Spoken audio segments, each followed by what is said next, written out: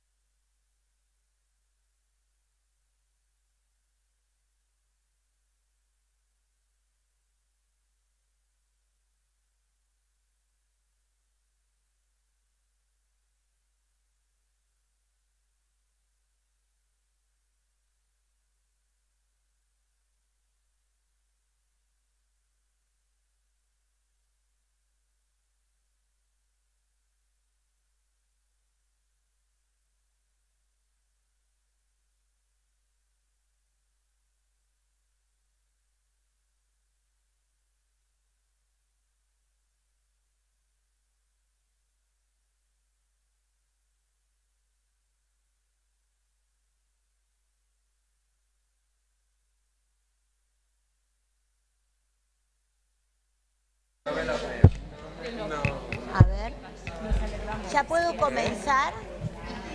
Perdón. ¿Ya estamos todos? ¿Puedo comenzar?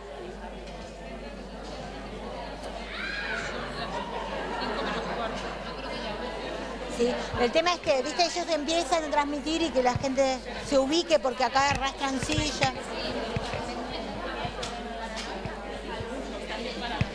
Sí.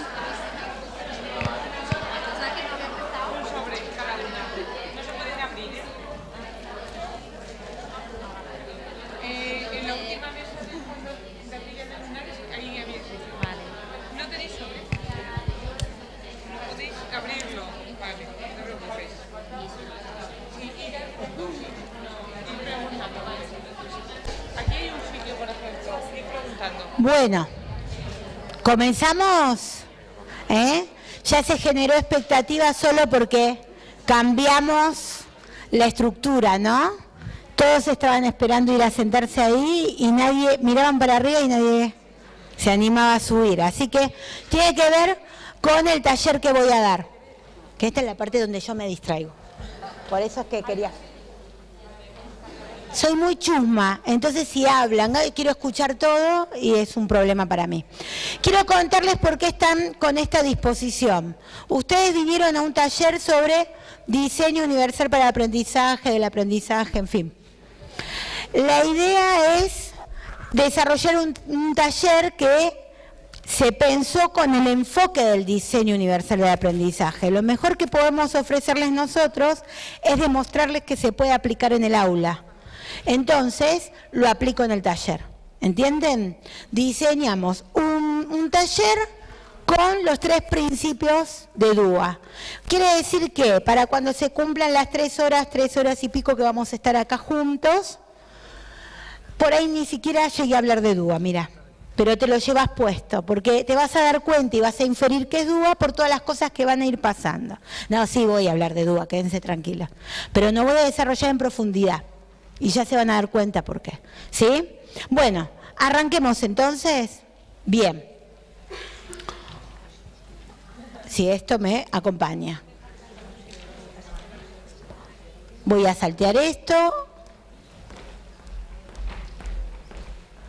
Y les voy a dar la bienvenida. Y a la hora de pensar y dar la bienvenida, y lo aclaro acá, así específicamente y tan grande, es porque nosotros damos la bienvenida con la postura en el aula, ¿no? Cuando yo llego al aula, si llego así como cansado, me tiro en la silla frente al escritorio y le pido una lapicera a algún alumno para empezar a completar el libro de temas, ya estoy dando un mensaje. ¿Sí? Ustedes no me van a ver sentada en ningún momento, recorro las mesas porque necesito conectar, ahora vamos a hablar de eso, del gesto amoroso, de que en algún momento todos ustedes sientan que yo les, les hablé, aunque sea con la mirada.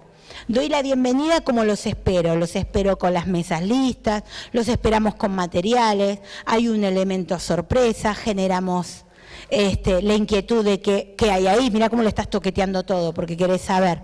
Bueno, también con eso mostrarles que pensamos el taller, que lo diseñamos para ustedes, es como, hoy pensé la clase para vos, hoy vine preparada para vos, te doy la bienvenida, no porque te digo bienvenidos, buenos días o buenas tardes, sino con una propuesta.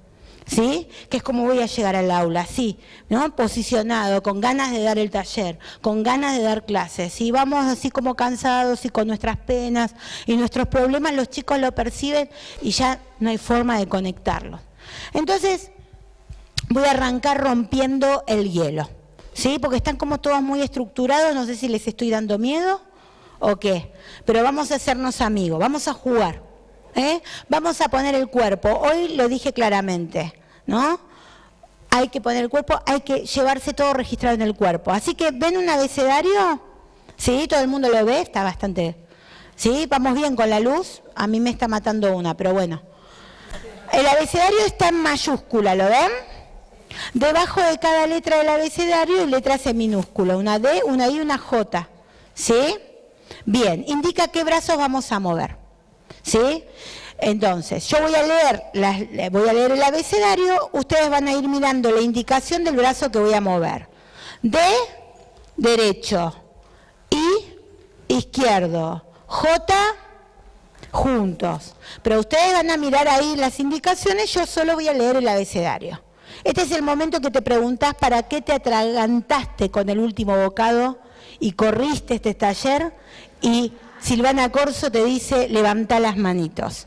Me hubiera comido el postre tranquilo y después venía, ¿no? Bueno, vamos a ver, esperen porque todo tiene un sentido, ¿sí? Bueno, como ya me están mirando tipo, dale que lo entendí, arranquemos. A, B, C, D, E, F, G, H, un desastre. ¿Qué pasó? No pegaron una. Viste que no era tan sencillo. Bueno, nunca, nunca, cualquier, mira. Total, en el montón, ¿quién me ve? Hacemos así, ya estamos, ¿no? Algunos me miraban a mí como si yo iba a mover nada. Mirá, en el estado en que estoy ya te das cuenta que lo mío no es la educación física. A ver, nunca le vamos a decir a los chicos un desastre. ¿eh? Entonces, seguramente si tuviéramos más tiempo lo practicamos y sale excelente, pero yo le voy a demostrar que con menos tiempo también. Altas expectativas, y lo dijo Coral y lo repitieron todos, altas expectativas de todos y cada uno de ustedes, altas expectativas de todos y cada uno de nuestros alumnos, ¿sí? Nunca un desastre. A ver, ¿qué pasó? Subestimamos por ahí una, una, propuesta. Y yo a propósito no la repetí igual, para generar esto que pasó. ¿eh? Estaba jugando un poco con ustedes también. A ver, A, abajo hay una D. Derecho. B, abajo hay una I. Izquierdo. C, abajo hay una J. Juntos. Entonces, no me miran a mí. No miran al compañero, solo miran la pantalla y siguen la indicación que está en letra minúscula.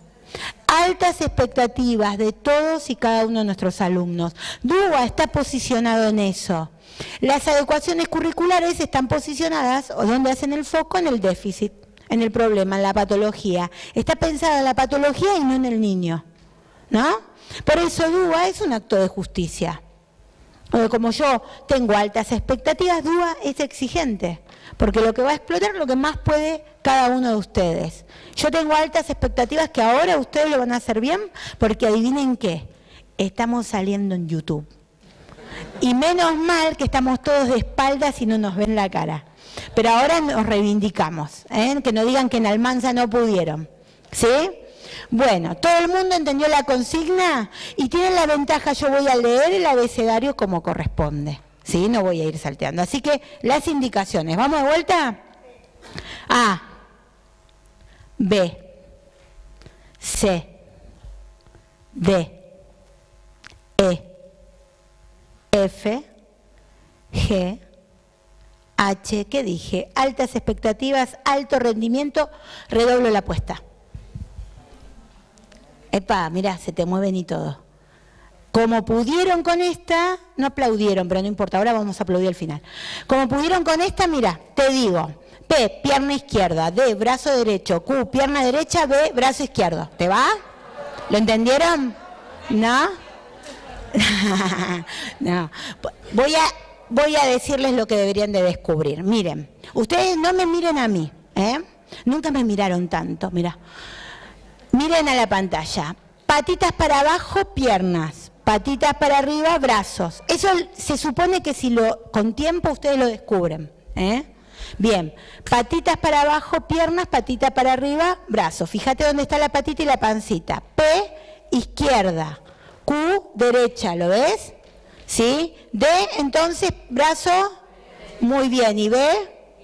Muy bien. ¿Todo el mundo entendió la consigna? Es el momento de ponerse de pie, no era de sentado, ¿eh? Qué grande. Y ahora sí que nos vamos a recontra superar, ¿eh? ¿Te gustan los desafíos? Arrancamos. Pará, esperamos. No, hay gente que no está lista. ¿Listo? P, D, Q, B, D, P, P, wow, B, no, D que dije, qué sé yo, P, P, B, Q, B, P, Q, P. Muy bien. Un aplauso para todos. Le hicieron bárbaro. Pero son unos genios. ¿Vieron cómo trabajamos la confianza? Bueno, ustedes se estarán preguntando, ¿y esto de qué se trata? Hicimos un poquito de gimnasia cerebral, ¿no? Que está discutido si tiene o no tiene base científica. Ahora, ¿era de atención? ¿Sí o no? Sí. ¿Coordinación visomotora? Sí. ¿Les robé una sonrisa? Hicimos la digestión. Rápido. Bien, entonces, o lo usás para atención o lo usás para cambiar el clima en el aula. ¿Viste esas mañanas de lluvia, frío, que ahora se vienen para ustedes? Yo me voy al calor mañana. Pero a ustedes se le viene esa temporada y el chico te abre la boca bostezando y le ves hasta el estómago.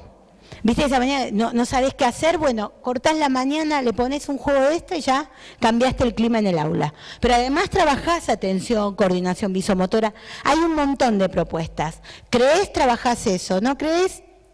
Es una receta para levantar una mañana o una tarde. Ojo que algunas los dejan a los chicos allá arriba. Eso hacelo cuando se los van a llevar la familia porque ustedes no van a poder después dar clases, ¿eh? Que se lo aguanten los padres después. bueno, no hay padres, me van a... No, mentira. Bueno, a ver, mirá qué lindo. A mí nunca me pasó esto. Yo lo pongo solo porque tengo la esperanza que algún día alguien me diga esto.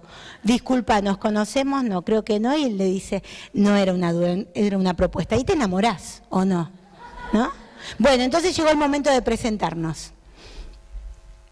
las caras. Si les doy el micrófono a cada uno son las tres horas y media. Entonces vamos a hacerlo así. Vamos a usar... Sí, busca que eh, acá somos inclusivos. En algún lado te vamos a incluir. Bien. ¿Qué vamos a hacer?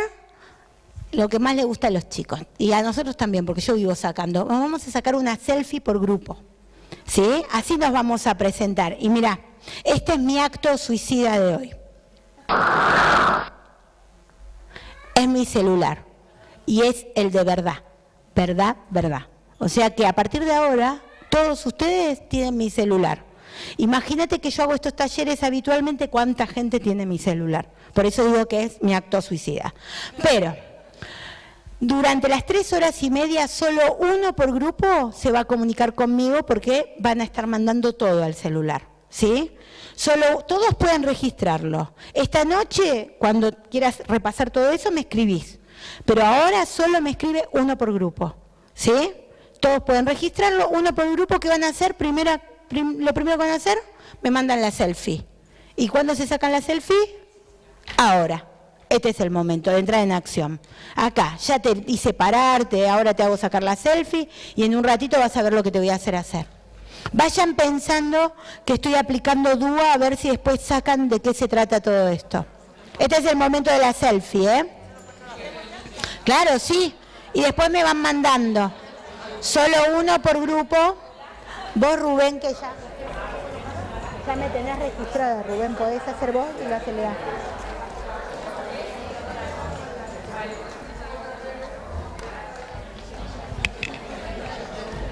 Viste que gusta, la selfie gusta.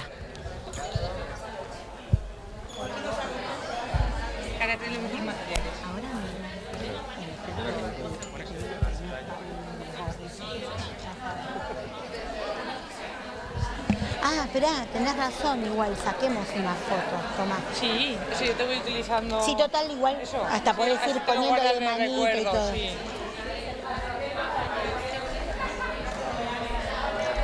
Bueno, muy bien. Todos se sacaron.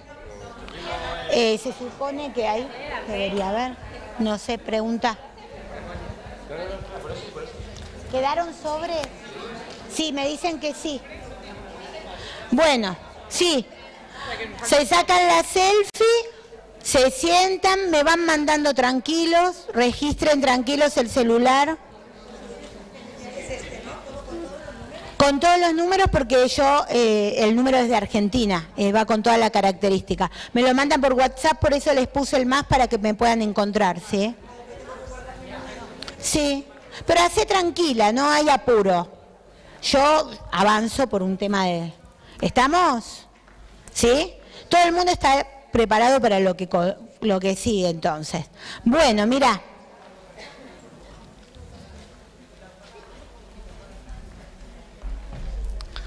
Entraron y ¿qué les dieron? ¿Qué les dieron? Un sobre. ¿Qué les dijeron? Que no los podían abrir. ¿Y qué generó?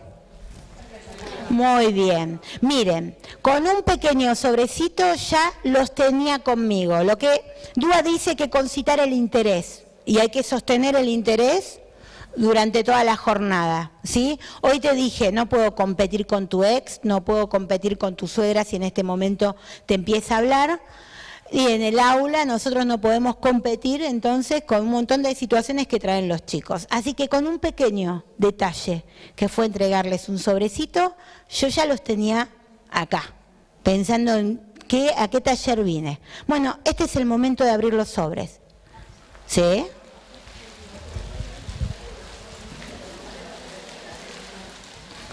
¿Y qué hay ahí? ¡Apa! Y si te animás, va todo puesto. A ver quién rompe el hielo ahí, ¿eh? Muy bien. Ahí está, ahí están los primeros valientes, las primeras. Eh, va todo puesto. ¡Apa! Sí. No me digan que no tuvieron alguna vez la fantasía de jugar al doctor, ¿eh? Viste, este taller es completo, completo. Te cumplo las fantasías y todo. Vamos, si te animás, me mira ella, no quiere saber nada. La foto del scratch no es necesaria. Si ustedes se quieren sacar la foto, no hay problema. Lo hacen ahora y me avisan cuando están listos, porque esto es para ver un video. ¿eh? Todo esto tiene que ver con un video. Así que, si se quieren sacar la foto, este es el momento, porque después con esto hay que estar concentrado en lo que viene. Ahí van, ¿viste? Yo sabía que se iban a querer sacar la foto. ¿Te gustó, eh? Vamos a operar ahora. Ahí voy yo. Oh.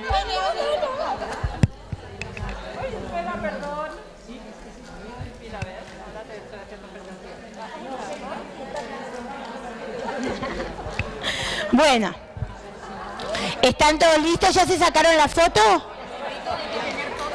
Eh, sí, por ahí algunos se saltó el gorro, pero había que armar tanto. Bueno, ¿están? Cuando estén listos me avisan porque vamos a pasar un video. Y necesito que así como están producidos, se concentren en el video y la propuesta que tengo ahora. Así que ustedes me avisan cuando están listos. ¿Sí? ¿Estamos todos? ¿Ya se sacaron todos la foto? ¿Sí? Miren que, no, algunos se querían sacar fotos así. Porque el video está subtitulado, entonces me interesa que cuando estén listos me digan para que todos se puedan concentrar en el video. Porque tiene que ver con lo que tienen puesto, por eso se los digo. ¿eh? Acá van a poder ver, no se podrá correr Porque los que están acá no van a... Ahí, ahí está. Bueno, ¿estamos? ¿Sí? Arrancamos entonces.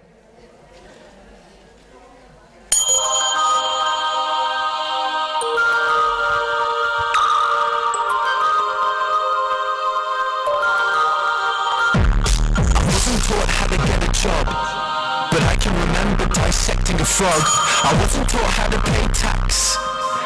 Know loads about Shakespeare's classics. I was never taught how to vote. They devoted that time to defining isotopes. I wasn't taught how to look after my health. But mitochondria is the powerhouse of the cell.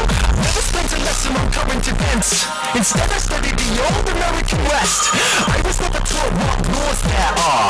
I was never taught what laws there are. Let me repeat, I was not taught the laws for the country I live in, but I know how Henry VIII killed his women. Divorced, beheaded, died. Divorced, beheaded, survived. But that's in my head instead of financial advice. I was shown the wavelengths of different hues of light, but I was never taught my human rights. Apparently there's 30. Do you know them? I don't. Why the hell can't we both recite them? Why won't I know? Years metamorphic and sedimentary rocks, yet I don't know squat about trading stocks or how money works at all. Where does it come from? How does the thing that motivates the world function? Not taught to budget and disperse my earnings. I was too busy there rehearsing cursive. Didn't learn how much it cost to raise a kid and an David is with us for days. What the quadratic equation is like to be plus or minus the square root to be square minus 4 AC over 2A That's insane, that's absolutely insane. They made me learn back to what they should do to recognize the most deadly mental disorders or diseases with preventable causes? Or how to buy a house with a mortgage if I could afford it? Cause abstract maths was deemed more important than advice that would literally save thousands of lives. But it's cool, cause now I can tell you if the number of unnecessary deaths caused by that choice was prime. Never thought present day practical medicines, but I was told what the ancient Hippocratic method is. I've got a headache, the pain is ceaseless, what should I take? Um, maybe try some leeches? We discussed domestic abuse and get the facts, or how to help my depressed friend with a mental state? Um, no, but learn mental maths, because you won't have a calculator with you every day. They say it's not the kids, the parents are the problem. Then you taught the kids parent, that's the problem solved then. Or this advice about using a condom, but not for when you actually have a kid when you want one. I'm only going to this language, the serious the rest of the world speaks to. Think I'm an idiot? To choose the solo along with the political system, so like a typical citizen, now I don't know what I'm voting on. Which policies exist or how to make them change, make leaves, Japan, with the process. At 18, I was expected to elect a representative for a system I had never, ever, ever been presented with. But I won't take it. I'll tell everyone my childhood was wasted. I'll share it everywhere how I was educated. And insist these pointless things don't stay in school.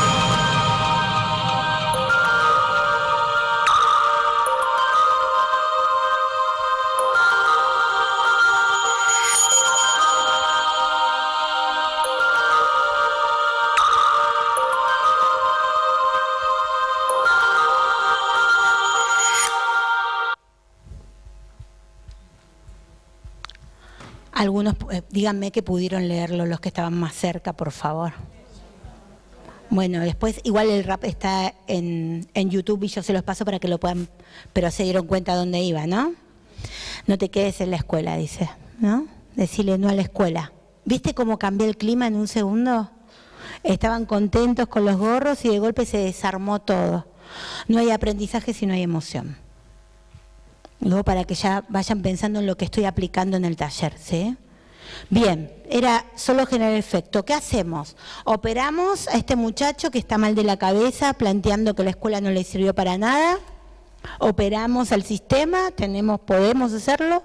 Operamos al interior de las aulas.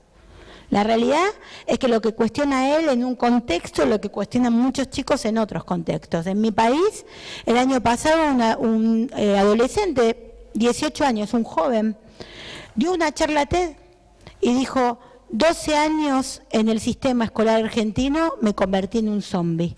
Ahora que salí del sistema empiezo a aprender. Piensen en cada contexto qué nos están cuestionando los chicos, qué están necesitando y qué les estamos dando. Porque DUA va a ayudar a dar respuesta a esto.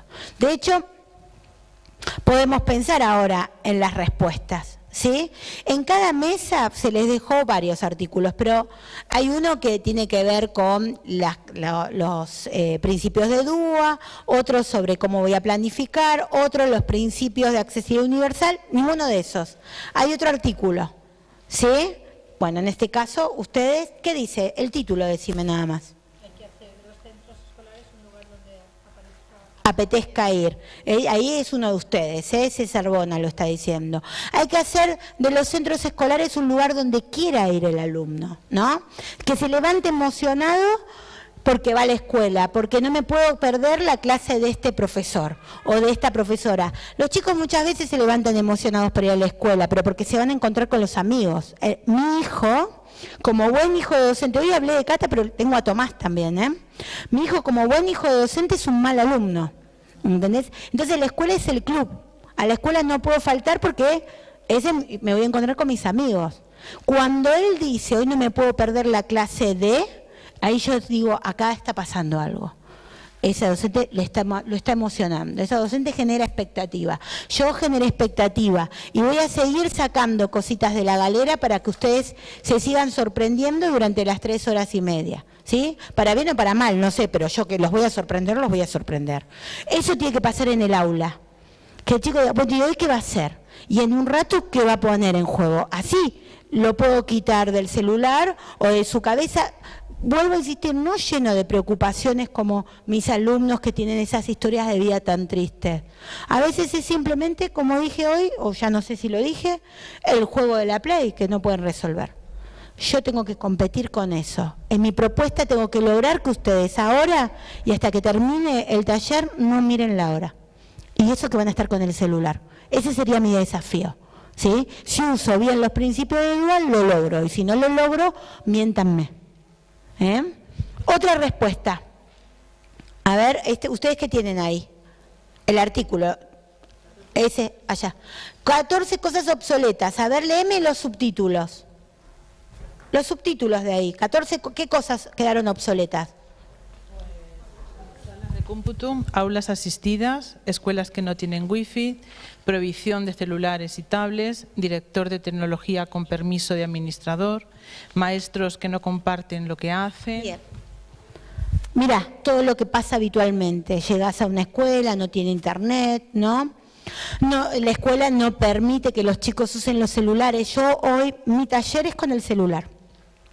Lo habilité y les voy a ir contestando en un ratito lo que me van mandando y entonces yo puedo dar el taller y puedo interactuar con vos con el celular, como los chicos pueden interactuar con el celular, con vos, con la tablet. Y, tienen esa posibilidad, ¿no? ¿Por qué? Porque tenemos que enseñar en contexto. Hay allá un argentino, doctor en ciencias biológicas, Héctor Aldana Marcos, dice, ¿no? Dice, los chicos vienen de jugar a la PlayStation. Es en 3D, color y le vibra. ¿Sí? Llega al aula y estás vos, dice, con la misma ropa de todos los días. El pizarrón verde, ¿viste? Y la tiza blanca. O sea, ¿entendés el contraste de todos los estímulos que tiene por fuera como para llegar? Bueno, ahí ustedes se deben estar, ya se pueden sacar, ¿eh?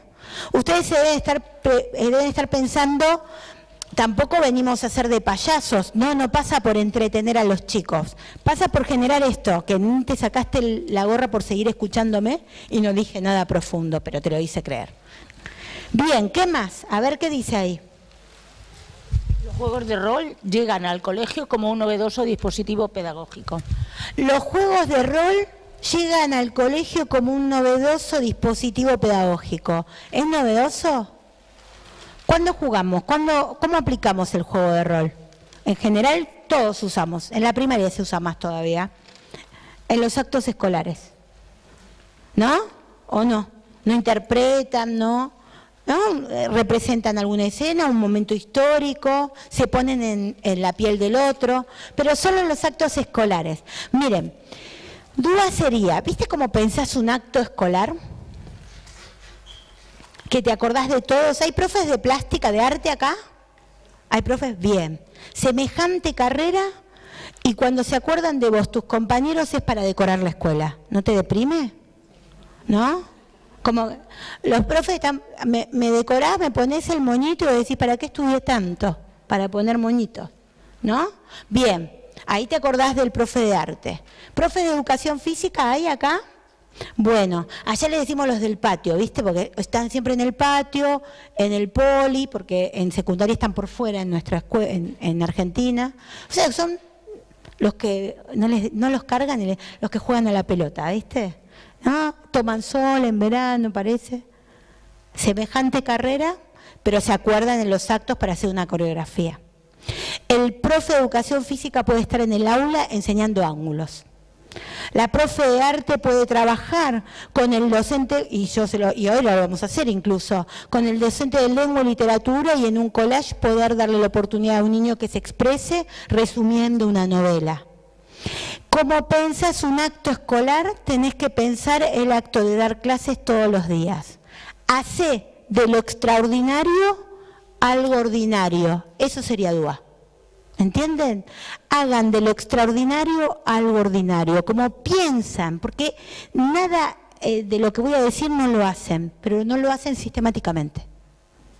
Como piensan un acto que se acuerdan de un montón de compañeros para hacer un trabajo interdisciplinario, pensá la clase todos los días. Hoy dije, se trabaja con otro, en equipo. DUA se aplica mucho en equipo. ¿eh? Se aplica en, en, equipo como parejas pedagógicas y se trabaja en equipo así. Los chicos están así trabajando. ¿eh? Mucho trabajo colaborativo. Hoy este, Coral les dio todo, les dio todo lo que tienen que hacer, ¿no? Yo un poco voy a aplicar lo de Coral, ¿sí? Bien. Otra, otro texto, otro título. A ver, otro título que tengan ahí que sea diferente, otro artículo. Ahí, ahí, ¿qué dice? Acá, ¿qué dice? La neurociencia demuestra que el elemento esencial en el aprendizaje es la emoción. Y creo, ese ni lo repito, no hay aprendizaje si no hay emoción y yo voy a trabajar con eso todo el tiempo. De hecho, arranqué así, ¿no? Que, que, que sienta que esto lo estoy viviendo, ¿no? Que me emocione estar en este momento acá. Y que me emocione en todos los sentidos. ¿Viste? Nos están grabando, ¿no? Bueno, no importa. ¿Viste ese pibe jodido? Ah, ahí van a decir, ¿y no eras inclusiva? Somos docentes. ¿Viste ese pibe que llega al aula y viste, decís, ¿por qué no faltó? No falta nunca. Llega y viene solo a joderme la clase a mí. Está todo el tiempo buscando algo en mi clase. Siempre hay algún niño que está ahí como interrumpiendo, molestándote. Bueno, ese chico amalo, mira. El lunes cuando vayas a clase, dale un beso.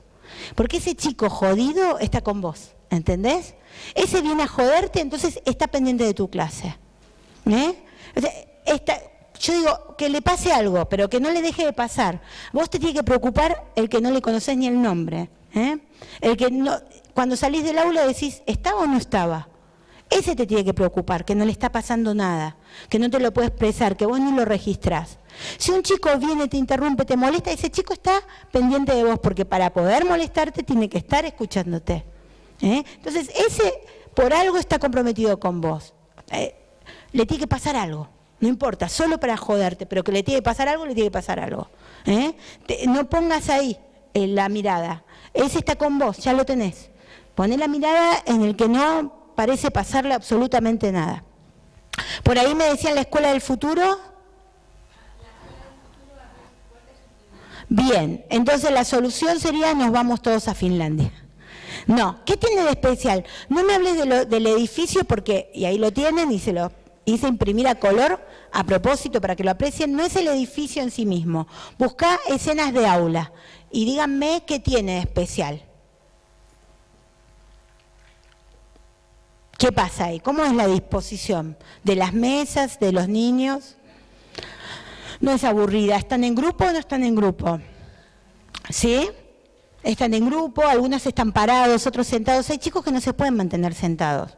Entonces esta disposición le permite a ella pararse mientras estoy hablando y puede moverse si es que está necesitando sentirse, ¿sí?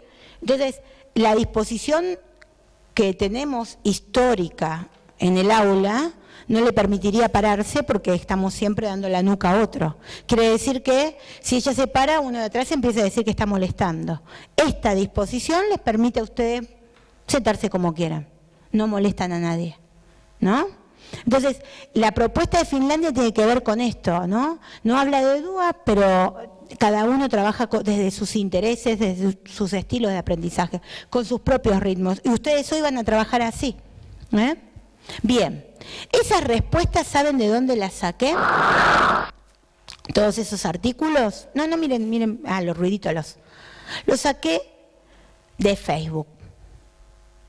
Lo que quiero decir es, hoy está todo a disposición nuestra. Hoy todo está en las redes. O sea, si nosotros no queremos innovar, nosotros no queremos recrear algo, es porque no queremos porque toda la información está ahí. Porque hay gente muy piola que comparte sus este, experiencias. Hoy dije, tenemos que compartir nuestras experiencias. Hoy Echeita citó a Tedesco y me emocionó. Tedesco falleció el año pasado. En Educación 2020 Tedesco habla de narrativas escolares. Fue ministro de Educación Nación en la Argentina, Tedesco. Y él habla de las narrativas, del ejercicio de hacer como un feedback todos los días cuando llegamos a casa, de qué hice en la clase, qué pasó, como para que yo, ya alejada de la escena, pueda hacer, bueno, qué funcionó y por qué no funcionó. Y si yo tengo ese ejercicio de escribir, por ahí más adelante puedo compartir toda una experiencia en estos artículos como lo hacen otros y compartirlos con otros y darlos a conocer. ¿Sí? Hoy la información está en las redes. Entonces, si la información está ahí, está para ustedes, está para los niños y para los jóvenes. ¿Cuál es el sentido de venir a la escuela? Cuando yo era chica, yo iba a buscar el conocimiento a la escuela porque la maestra era Dios. ¿eh? Y si no era la maestra, era la enciclopedia eh, Salvat o la británica. O sea, ahí estaba todo el conocimiento. ¿Entienden? Hoy los chicos el conocimiento lo llevan acá. Lo llevan acá porque viste que cada vez son más grandes los celulares. Entonces, no entran acá, entran acá. Tienen el conocimiento ahí. ¿Cuál es el sentido de venir a la escuela? Pa. Pero no me están cuestionando, o sí, por ahí están pensando. Los chicos no saben buscar en Internet. Bueno, no saben buscar en Internet por culpa tuya. Porque sabemos que van y siempre buscan en Wikipedia. Entonces, anticipa. Enseñarles a buscar en Internet, porque es una competencia para poder llegar después, insertarse en la sociedad, para poder encontrar puestos laborales, ¿no? Yo les voy a volver a hablar de mi hijo, que dice, de Catalina siempre hablas bien, mamá, y de mí siempre hablas mal. Y tiene razón. Así que lo voy a seguir haciendo. Como, como mal alumno, Tomás, entonces estaba estudiando matemática para una evaluación y lo veo con la tablet y YouTube. ¿Entendés? Así que olvídate de la inclusión. Yo fui a hacer un asesinato de hijo. Ahí me olvidé de la inclusión. Dije, no puede ser que no estudia nunca y encima está perdiendo el tiempo con YouTube. Y él me dice, mamá, estoy estudiando matemática. Acá hay un profesor. ¿Sí? Yo miro, sí, es verdad. Y le digo, bueno, decime cuál es la diferencia de este profesor y tu maestra. Y me dijo, esta es la diferencia. Mira, mamá, repetir, repetir, repetir, repetir. Las veces que yo necesito. Le digo dos veces a la maestra que repita y me mira mal. Entonces dije, qué genial, ¿ves? Algo bueno. a- Ese es mi hijo, ahora volvimos, ¿viste? Me reconcilia, ese es mi hijo. No me hace gastar en maestra particular, ¿entendés? Por suerte descubrió YouTube. Pero yo soy docente, como ustedes, y me pongo en el lugar de la docente y digo, pero qué mal, porque entonces a Tomás le da lo mismo ir o no ir a la escuela. Llega a la escuela, entiende, bien, no entiende, se queda mirando y dice, tengo YouTube. ¿Entendés? Entonces, acá nos está interpelando a nosotros como docentes. Bueno, aula invertida se usa para el learning, ¿no? Esto. Se aprende haciendo y no escuchando al profesor. ¿no? Si ya la información está ahí, yo voy a hacer que te pase por el cuerpo. Yo soy mediador. Y por eso es que ustedes van a vivir DUA y al final recién voy a hacer un barridito de DUA. Voy a mediar entre esa información que ya está, algo que ya conocen, todo lo que escucharon, para que ustedes se den cuenta cómo se hace. Y después te dejo la información para que sigas profundizando. ¿Eh? Si ustedes logran que un alumno se vaya del aula a, seguir buscando información, listo, misión cumplida. ¿m? Se aprende haciendo y por eso es que vamos a trabajar así, haciendo. ¿eh? Aula invertida. Esto es lo que vamos a aplicar hoy. Todo lo van a hacer ustedes, yo voy a mediar, me está ayudando Coral, que ahora le yo por eso te decía que te pongas un micrófono, porque yo tengo alma de no. bueno, ¿qué vamos a ver? Vamos a hablar de flexibilidad, adaptación y accesibilidad al currículum, características de las aulas inclusivas y vamos a hablar de la planificación y la organización del trabajo, para llegar a los tres principios de diseño universal. Este tema no estaba previsto para este taller, porque sería un taller grande, pero yo ya lo tenía eh, pensado así de todo un día, este es de poquito tiempo, así que estilos para mí tiene que estar incluido, o sea, los invito a seguir investigando porque hace al diseño universal, ¿sí?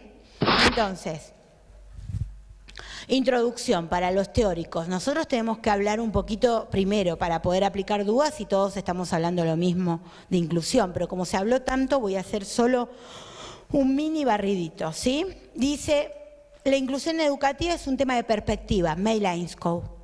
Dice perspectivas en conflictos. Hay una perspectiva dominante que es la integradora y quedó re claro en estos dos días de la jornada. Todavía, aunque se habla de inclusión, se hace integración. La perspectiva integradora está basada en el modelo médico de discapacidad, ¿no? Que es una escuela normalizadora, ¿no? Esencialista, individualista. Una, una escuela que quiere que el niño se parezca lo más posible a todo el resto. ¿Sí? Entonces, la escuela no se adapta al niño, el niño se adapta a la escuela. Dice, pero la perspectiva que emerge en la sociedad actual es la inclusiva, dice Einstein. ¿En qué se basa? En el modelo social de discapacidad que entiende que no es la dificultad, no es la discapacidad del niño la que le impide aprender. ¿Sí? Sí. Vos no le querés hacer una adaptación a un niño que tiene discalculia y no se la querés hacer en matemáticas, no es porque tiene discalculia que no aprende matemáticas, es porque vos sos perverso. Porque a un ciego le vas a pedir que lea con los ojos? No. Y entonces con el mismo criterio y sentido común. ¿Entienden? con el sentido común, porque esto se trata de eso, sentido común. Entonces, perspectiva dominante sigue siendo la integradora. ¿Y a dónde vamos? A la inclusiva, modelo social, la escuela se adapta al niño. ¿sí? Dice Odette Moliner García, y hoy la mencioné, la inclusión educativa es un tema de creencia. Yo tengo que creer que todos los alumnos pueden aprender. Tengo que creer que todos los alumnos pueden aprender. ¿sí? Pero ella agrega, no solo el docente tiene que creer que los alumnos pueden aprender, las familias tienen que creer que sus hijos pueden aprender. Hoy vimos familias empoderadas, ¿no? Madres que salieron a demostrarlo y que le dan recursos a los docentes, pero no son la mayoría. ¿eh? Muchos papás, por un montón de circunstancias, se ven más limitados y quedan a merced de nosotros. Si le toca un buen docente bien y si no, por ahí le arruinamos la vida ¿eh? a la mamá, al papá y al niño. ¿Sí? Entonces, la familia tiene que creer que sus hijos pueden aprender. Yo tengo que convencerlos. Para eso el recorrido que mencioné hoy en la conferencia. Tengo que comprometerme y ponerme en el zapato de la familia. Saber en qué situación está su duelo, si ya fue atravesado, si no. ¿no? Conocer eso que hacen. ¿Hay maestras jardineras de nivel inicial? ¿Sí? Bueno, ¿vos solita? ¿Nadie más? Bueno, entonces voy a tener a todos de enemigos, pero recuerden, recuerden que yo soy profe de historia de secundaria. Los, los únicos que hacen bien todo en el sistema son los de nivel inicial. Después venimos el resto y lo arruinamos todo. Entre otras cosas es la entrevista inicial, porque se comprometen con la prehistoria del niño cómo fue el embarazo, si fue deseado, cómo fue el parto. Y a partir de ahí trabajan sobre sus posibilidades y explotan todas esas posibilidades. Después venimos nosotros, que nos olvidamos que con el juego se aprende, que se aprende en grupo, ¿no? Y empezamos a internalizar y ponerlos todos cuadraditos, todos circulitos, todos iguales. Por último, dice Moliner García, los niños tienen que creer que pueden aprender. ¿Se acuerdan Caballasca? Los chicos que asumen que no pueden aprender es porque nuestras prácticas lo, eh, lo posicionan en ese lugar. Te lo voy, te saco de Caballasca, que era una novela, te lo digo con mi propio hijo. ¿Hay psicólogos presentes acá? Mejor. Ah, no, mentira. No, no, porque digo, me van a juzgar, no me juzguen. Dije que vamos a terapias los argentinos. Yo no sé inglés y encontré mi alma gemela. No me siento tan sola. Y me, va muy mal en los viajes. Ahora que viajo tanto, no saber inglés es todo un trauma para mí. Pero no lo puedo superar. Entonces, a Tomás lo mandé a una escuela bilingüe. Por eso digo que necesito psicólogo, ¿entendés? Pobre pibe. Lo mandé a una escuela bilingüe porque yo quería que mi hijo me superara, que no tuviera los mismos problemas. Cuando estaba en quinto grado, vinieron los amiguitos a casa y se pusieron a hablar inglés. Y ahí descubrí que mi hijo no hablaba inglés. Y dije, está en quinto grado, está de salita de dos en esa escuela, todos hablan inglés y el mío no. Yo, como no sé inglés, no sabía cómo comprobarlo, lo mandé en ese momento, todavía estaba con, con mi marido, ahora mi ex marido, le dije, Agustín, fíjate vos, porque sabés inglés, porque Tomás no lo escuché. Y bueno, Agustín va, vuelve y me dice, definitivamente Tomás no habla inglés. Y entonces, ¿viste? ¿Cómo, cómo es que llegó a quinto grado? Entonces le digo, eh, cuando toman oral, Tomás, ¿cómo es? Entonces dice, mira, mamá, yo descubrí una técnica para que no me pregunten. Entonces, ¿qué hace la maestra? Este, Carolina, y contesta en inglés, ¿no? Betina contesta, Pablo contesta, Tomás, mm, no hay tiempo. Pasamos a Rubén, no está acá Rubén. ¿Entendés? Entonces dijo, "Mm, eso funciona. Cada vez que le preguntan, hace, "Mm". como no tenemos tiempo, porque siempre estamos corriendo atrás de una planificación, ese chico lo voy confirmando. O sea, vos como docente te dice, "Mm", te quedás acá y le decís, yo no me muevo de acá hasta que me digas, aunque sea yes, pero algo me vas a decir pero no tenemos tiempo, porque planificamos sin contemplar los tiempos de los niños. ¿Entienden? La planificación no responde al alumno real, porque responde a un diseño curricular. ¿Quién escribió el diseño curricular? Mucha gente atrás de un escritorio que nunca estuvo en el aula. Y nosotros tenemos que cumplir ese diseño curricular. Entonces, muchos niños se confirman en esto de que necesito dos cerebros para aprender porque no tengo tiempo. Miren, fácil. Catherine Lecuyer, Educar en el Asombro, hay un- una viñeta en el capítulo que habla de los ritmos y dice, una nena de cuatro años le dice a la mamá, mamá cuando estaba en el coche, ¿dónde tenía que estar? Y la mamá le dice, no entiendo tu pregunta. No, porque cuando estoy bañándome me decís que ya me tendría que estar cambiando. Cuando estoy cambiando ya me tendría que estar desayunando. Cuando estoy desayunando ya me tendría que estar lavando los dientes. Entonces, ¿los tiempos de quién? Los niños son lentos en relación a mis tiempos, los tiempos del adulto. ¿Entienden? Entonces hay que volver a una educación lenta. Les recomiendo leer Elogio de la Educación Lenta de Domenech. Esto es un movimiento que reivindica los tiempos de los niños. Elogio de la Educación Lenta, Domenech. Y hay otro que se llama Pedagogía del Caracol, pero no me acuerdo el autor. Pero cuando pongan Elogio de la Educación Lenta, les salta también Pedagogía del Caracol, porque está dentro del mismo movimiento. Los tiempos de los niños. Bien.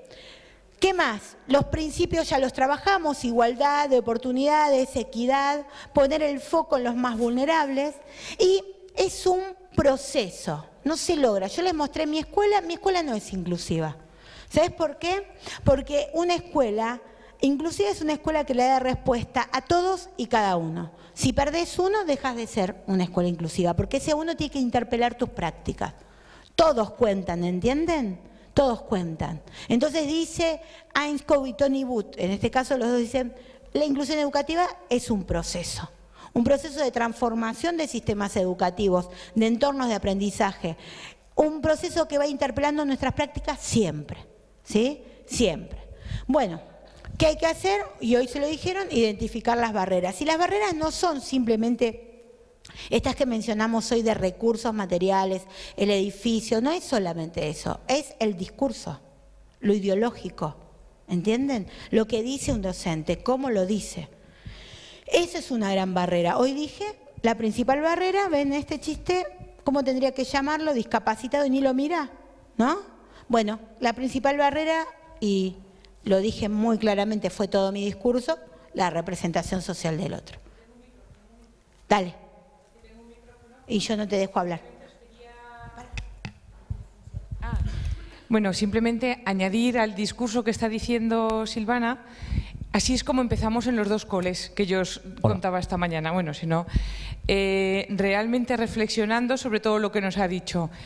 Teníamos que reflexionar sobre el paradigma en el que nos movíamos, porque no era el modelo médico, sino el modelo social. Y entonces esto que a nosotros aquí nos parece tan fácil y que lo entendemos todo el mundo, yo me he encontrado en las aulas que no lo entienden. ¿Vale? Y entonces seguíamos sin nombrar a los niños. Y eso es lo primero que hicimos. Y para reflexionar hay una guía, que es una guía que está en PDF en Internet, que se llama Guía Reine, con E en lugar de con A, que habla de la ética y te hace reflexionar sobre la ética de la educación inclusiva. Y es muy interesante.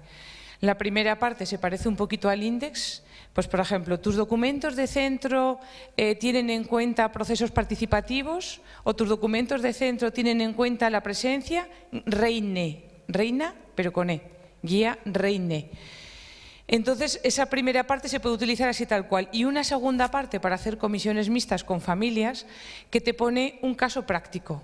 Un caso práctico, tú estás en un, en un centro, el primer caso, por ejemplo, es, estás en un centro de educación infantil y primaria, eh, los papás de los niños de 5 años han venido a hablar, pues en este caso como si nosotras fuésemos las directoras, vienen a hablar contigo y te dicen que ese niño o esa niña, ellos ponen ahí con TGD, TEA, eh, no quieren que pase a primero. Y te ponen un conflicto, o sea, te ponen una, un, pues eso, un, un tema ético sobre la mesa y te hacen preguntas. Incluso está explicado cómo se puede trabajar con las familias.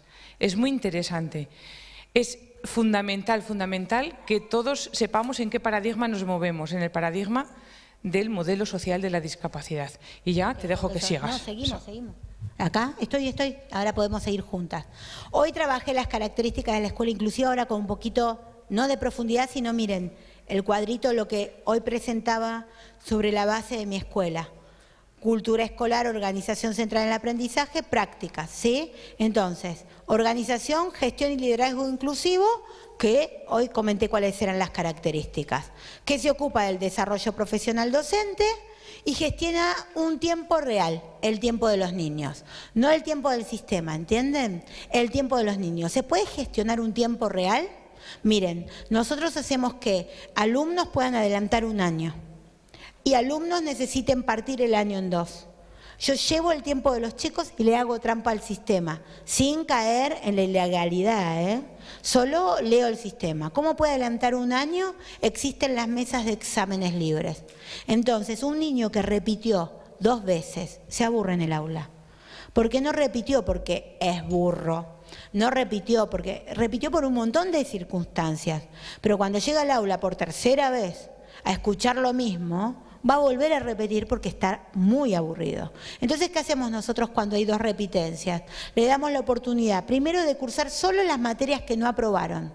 En el curso donde repitieron, solo las que no aprobaron. ¿sí? Tres materias, cuatro materias, esas las vuelven a cursar. Y en el contraturno hacen el curso donde deberían haber pasado. Esa parte es ilegal, es verdad. Vamos con una lista paralela. Silvana, explica el contraturno. Contratur no, es ilegal. Aquí que- no tenemos contraturno.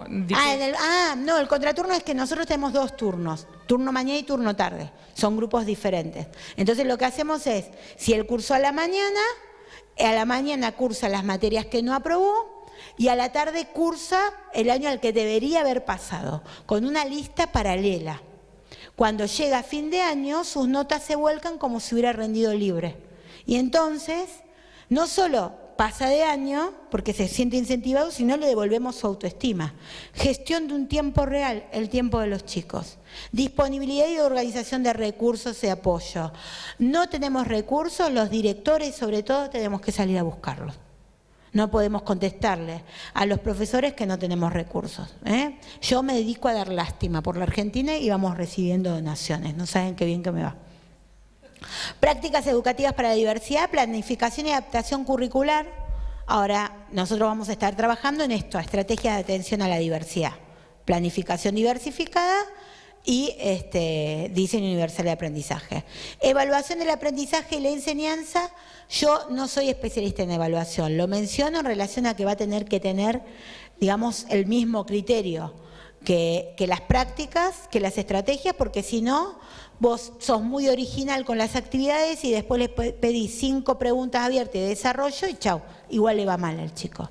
Entonces, la evaluación es todo el proceso, todo, todo DUA es, es evaluar. Todo lo que yo haga hoy se está evaluando, con lo cual no necesito una evaluación formal. ¿Sí? Y esto genera cultura escolar inclusiva, sentido de comunidad, genera un clima escolar y de aula único, se respira, ¿no? Que en el otro hay un valor, en el otro hay un valor. altas expectativas de todos y cada uno de nuestros alumnos y participación de la comunidad escolar toda. No vienen ni para música, plástica y teatro y si nos vamos todos de campamento, el niño con discapacidad motora se va del campamento. ¿Entienden? Participan de toda la comunidad. La única forma que tenga sentido de comunidad es que logren la participación real. ¿Sí? ¿Le Simple- sacaste foto? Voy a añadir una cosita. En mi papel de orientadora yo estoy en la organización eh, escolar, digamos codo a codo, trabajando con el equipo directivo para hacer esa transformación. Sería una, orientador, una orientadora transformadora, ¿no? Para, para esa transformación que está explicando eh, Liliana o Silvana. Sí, hoy me cambias el nombre. Bien, ¿esto qué es? Lo mismo. Verón, el principio, eh, el, el primer principio de DUA dice presentar y representar de múltiples maneras. Te presento este cuadrito que además es como atractivo. Acá tenés Murillo, dice lo mismo, ¿no? Con otro esquema, pero digo, lo, lo básico, ¿no? De lo que estuvimos hablando ahora es a donde apunta. El clima en la escuela, el clima del aula, el compromiso de los docentes, las características de la escuela inclusiva, la gestión, ¿sí? El trabajo con la familia, es exactamente lo mismo. Si mirás, para ahora vuelvo y te lo vuelvo a dar para que le saques fotos. Múltiples formas de presentar, ahora sí te lo doy. Soy pesada, ¿eh? Múltiples formas de, presentar un tema y representarlo. ¿eh? Quiere decir que acá en el, en el Power también estoy aplicando DUA. ¿eh? El Power está hecho con los principios de DUA y es mi apoyo, es mi entorno de aprendizaje. ¿Sí? Hoy eso y la propuesta en, el, en las mesas. ¿Estamos? ¿Sí? Así ya vamos rápido las actividades, porque van a hacer collage y van a grabar y van a hacer de todo. Bien, tenemos que romper con esto. ¿No es esto lo que hace la escuela? Mira, ¿Quieres que le dé sí, a, a la rojo, primera. no? Sí, Aquí esto que tenía. ahí.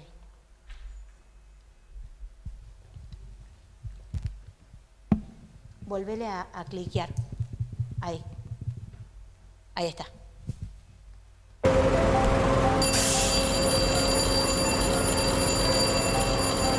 Hola niños, hoy en su primer día de clases vamos a dibujar. Sí, sí, silencio. Ahora saquen sus colores. ¡Qué bien! ¿Qué podría dibujar?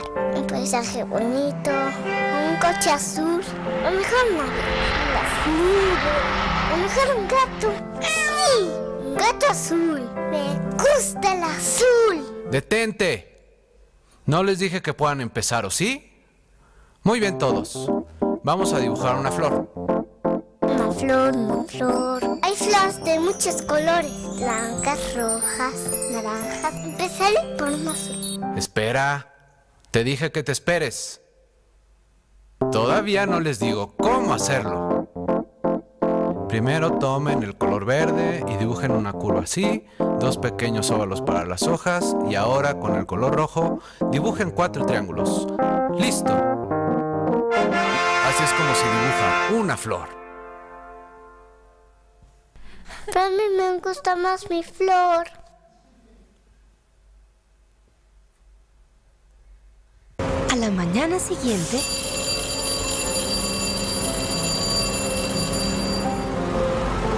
Hola niños, el día de hoy vamos a utilizar plastilina.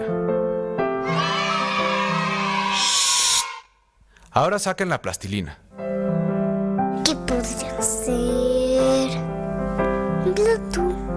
Mejor una pelota. Mejor un muñeco de nieve. Con ojos, manos y boca. Y su nariz. Espera. Otra vez tú. Les he repetido mil veces que hagan lo que yo les digo. Muy bien todos. Vamos a hacer una serpiente. y así pasaron los meses en la escuela, donde los alumnos, en vez de poder usar su imaginación y creatividad, los limitaban siempre a hacer lo mismo y de una sola manera. Hasta que un día, los padres de Vane decidieron mudarse a otra ciudad.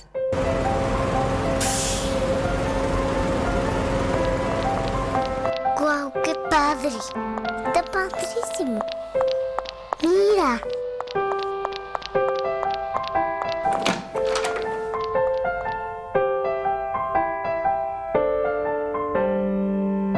Oh.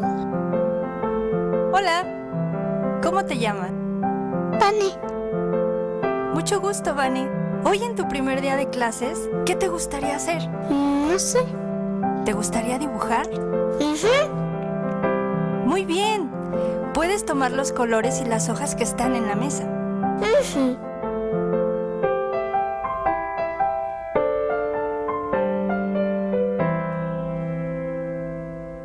Vane, ¿qué esperas? Cuando me diga cuándo empezar. Cuando quieras. Cuando quiera. ¿Sí? Mm, ¿Pero qué dibujo? Lo que tú quieras, con los colores que tú elijas. ¿Puedo dibujar una flor? Claro. Ok. 20 minutos después, Listo, ya terminé. ¿Puedo verlo? ¿Así está bien? Las escuelas matan la creatividad. Una charla TED que no, deje, no, no les sugiero que no dejen de verla. Ken Robinson, las escuelas matan la creatividad. Te lo dijo el rapero, leímos ahí los textos, te lo dijo, te lo digo ahora con un dibujito y ahora venía una entrevista, pero como está subtitulada, la voy a omitir, pero era para que vean que voy buscando otras formas de decir lo mismo, más complejos, menos complejos, para llegar a todos. Estoy aplicando DUA. Hace esto, mira, ¿así aprendió tu abuelo? No, tu, tu tatarabuelo, ¿no? No, tú, bueno. Así aprendiste vos, no hay mucha diferencia, mira. ¿Eh? Eso es- hace la escuela. Entonces, mira qué triste que está. Entonces, la idea es llegar a la escuela del futuro. Para los que no tenían ese artículo, ¿no? Esta disposición, ves que te permite estar parados, unos están con la computadora, otros están escribiendo, otros dibujando, otros escuchando, pero todos están trabajando con el mismo texto, con el mismo eh, eh, tema. Es un mismo tema para todos, cada uno desde el lugar donde se siente convocado. ¿sí? Si querés, desde su propio estilo de aprendizaje. Lo que tiene un limitante, a veces piensa la gente que solo se trabaja con su estilo de aprendizaje. No, se entra por su estilo y se desarrolla el resto. ¿eh? Eh, ojo porque si no le quitan mérito al concepto de estilo de aprendizaje. Entonces, ¿qué necesito hacer ahora? Yo necesito saber, con todo lo que se dijo estos dos días en la jornada, con lo que acabamos de decir Coral y yo, ¿qué están pensando? ¿Qué está pasando por sus cabezas? Están pensando, buenísimo, pero acaba de decir que cada uno va a hacer una actividad diferente con el mismo tema, yo no lo podría hacer, esto es un delirio, o bueno, no estoy tan de acuerdo con... En mi escuela podría, en mi escuela no podría, porque mis compañeros... Lo mismo pasa cuando estoy dando un tema en la clase. Yo quiero saber qué están pensando mis alumnos. Y si hay algo que les genera malestar, necesito que lo vomiten. Porque si algo les genera malestar y yo no lo sé, no puedo avanzar. Y si algo hay, es todo lo que ustedes todavía no pudieron decir de estas dos jornadas. Porque están como cargados, pero cada uno viene con su propia historia también para contar. Este va a ser el momento en que ustedes van a vomitar. ¿Sí? Entonces, yo quiero saber cómo es enseñar y aprender en sus escuelas. Y si están mezclados, mejor porque van a tener que buscar puntos en común o representar a todas las escuelas que estén en cada mesa. ¿Sí? Pero lo vamos a hacer de manera creativa. Yo quiero, pero yo quiero saber la verdad, ¿eh? no que me digan, nosotros tenemos en cuenta todos y cada uno y queremos, no. ¿Cómo es enseñar y aprender en tu escuela, en tu contexto? ¿Eh? Y no se preocupen que nos están grabando, porque yo elegí una manera creativa para que disimulen lo que quieren decir. Entonces nadie va a quedar mal con sus autoridades. ¿Cómo lo van a hacer? Van a trabajar, le vamos a dar diarios, revistas a algunos, van a hacer un collage, unas mesas y otras mesas con este mismo material, los sobrecitos también, con diarios y, y materiales que vamos a dejar, lo van a representar de manera creativa, ¿ves? Pues hay, gente que hace fuentes y empiezan y ponen pelotitas, distintos tamaños, y empiezan a contar algo. Hay gente que hace árboles con el diario. Así que nada, supérense. ¿sí? Y a los que les den la cartulina hacen el afiche, un collage, mejor dicho. ¿no? Explican cómo es enseñar y aprender en su escuela, pero de manera creativa. ¿Sí? Mira cómo me mira. Sí, no voy a trabajar yo, vas a trabajar vos. ¿Sí? ¿Cómo es enseñar y aprender en tu escuela? La verdad. Como lo van a hacer de manera creativa, va a quedar tan lindo que aunque digamos un montón de barbaridades, los demás van a creer que hablaron bien. Así que quédense tranquilos, digan la verdad. ¿Sí? Porque si ustedes no me dicen, yo sigo la propuesta, pero teniendo en cuenta sus contextos. Estoy, vengo de muy lejos. ¿eh? Yo podría decirles que tienen mucho más recursos de los que tenemos en la Argentina, pero por ahí no es tan así. Entonces yo necesito saber la verdad. ¿Por qué? Porque después yo te tengo que vender DUA y tengo que hacer que demostrarte que sí, que sirve en tu contexto, pero para eso tengo que conocer tu contexto, así me das letra a mí. ¿eh? Lo mismo con los chicos. Si no tienen ese espacio para que larguen todo, dudo que puedan av- avanzar. ¿eh? Piensen que estoy aplicando DUA. Bueno, ¿estamos listos? La única mala noticia, solo tienen 15 minutos, porque después me roban 5, pero en los 15 minutos tienen que hacer todo, no va a haber cortes, o sea que si querés ir al baño, mientras hacen el trabajo, se van turnando, van al baño, todo es en 15 minutos. Ahora abrís más los ojos. Bueno, después me roban 5 más, pero si te doy 20, me robas 30. Sí. Sí, pueden. Voy a repartir estas hojas. Las tendrán cuatro equipos. Esto es para hacer el collage. Collage. Los que- ¿Vale? Independientemente habrá unos periódicos y unas revistas para las dos mesas. Las Bien. mesas que no les dé yo las hojas estas tendrán que hacer la escultura, bueno, en 3D, lo que se les ocurra en 3D, ¿no? ¡Qué Utilizando eh, esos materiales. Pues venga, al ataque. Y en cinco minutos hacemos hasta PIS, no, en Todo. 15. En 15, Hacemos todo. Todo. Relaciones públicas, PIS y lo segundo también si tienen necesidad.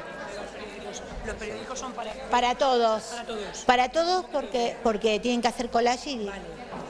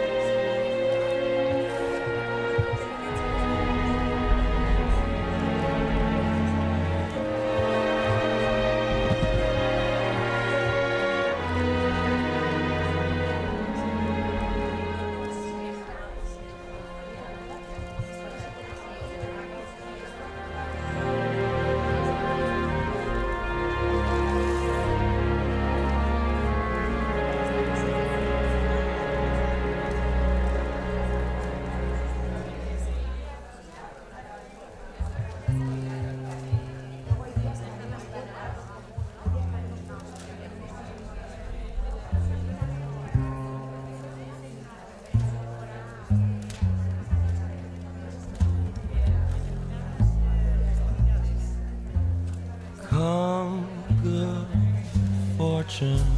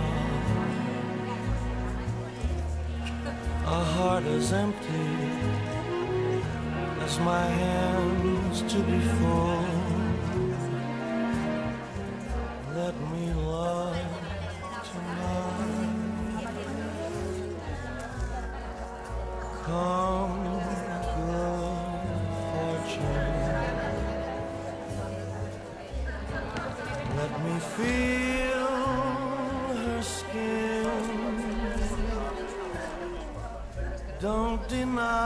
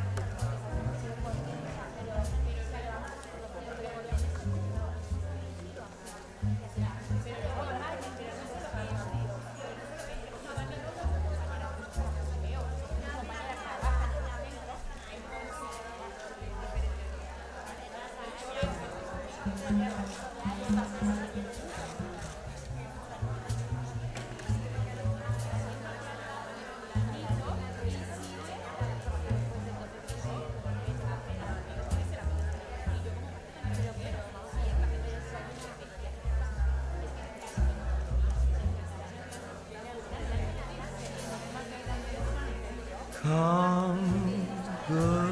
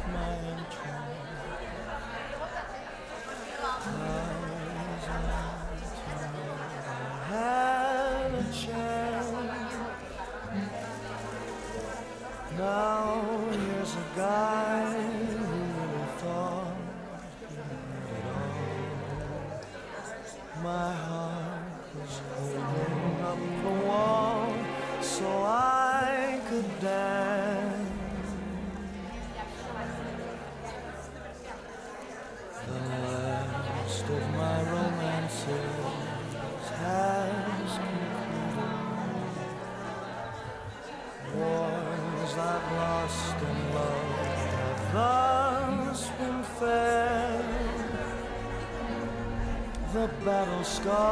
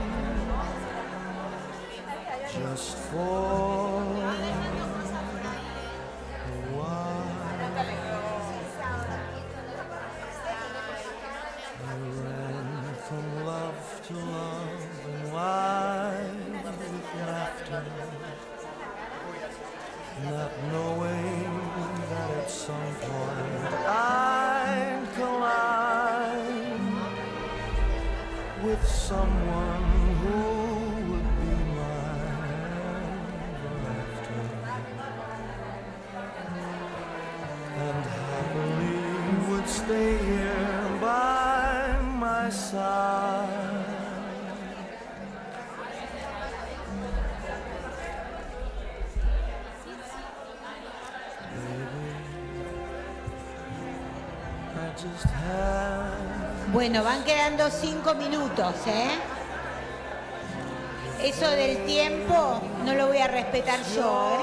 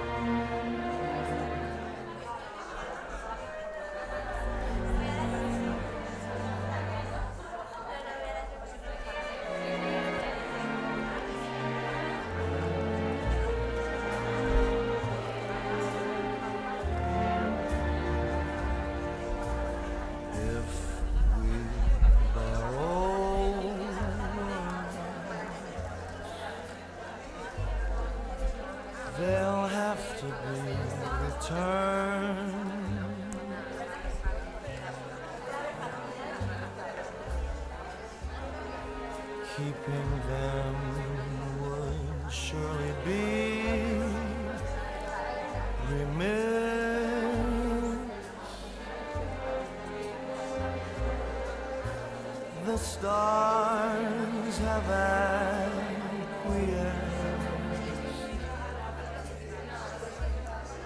by giving us this night.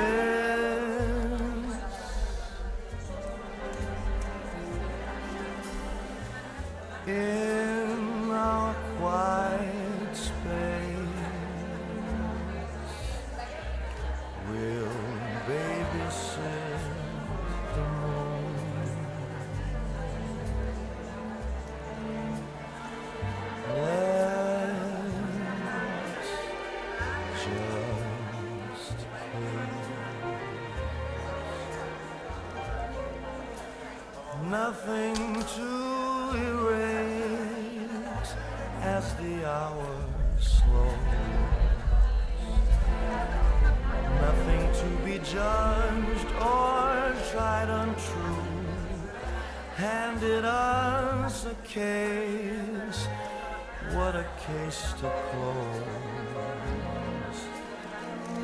It could take all night before we do. We won't have to try. Somehow we'll just know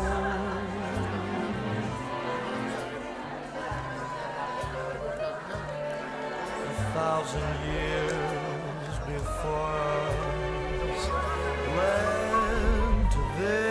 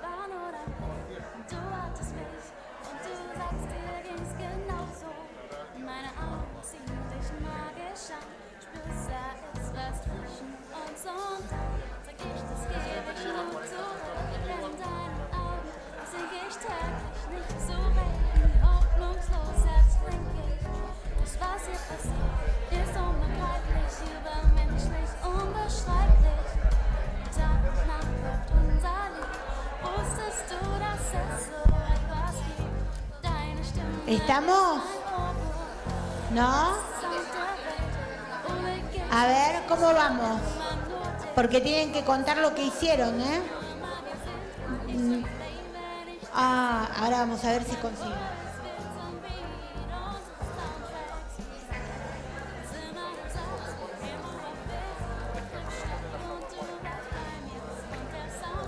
Cinco más y ya hacemos la puesta en común. Ahora voy a ver si me Cinco minutitos más y cada grupo comparte lo que hizo, ¿sí? ¿Me escucharon? No me están, pero no importa. Ustedes solos.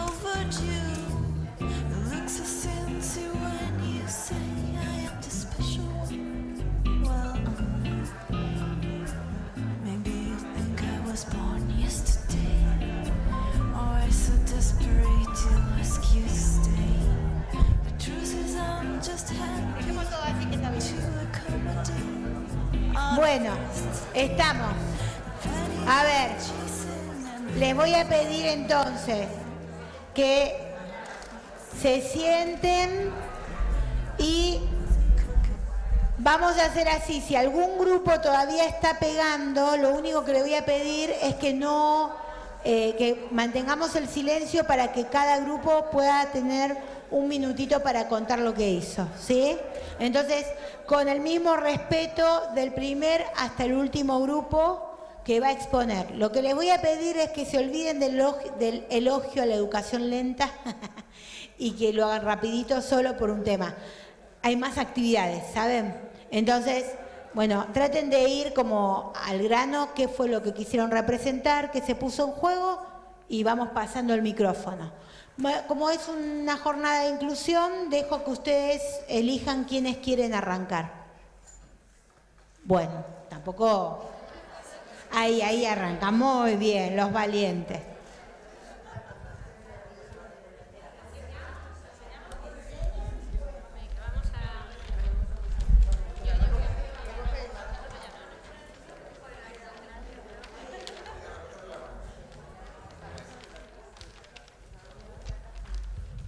Bueno, en nuestro grupo estamos de diferentes institutos, de diferentes eh, lugares.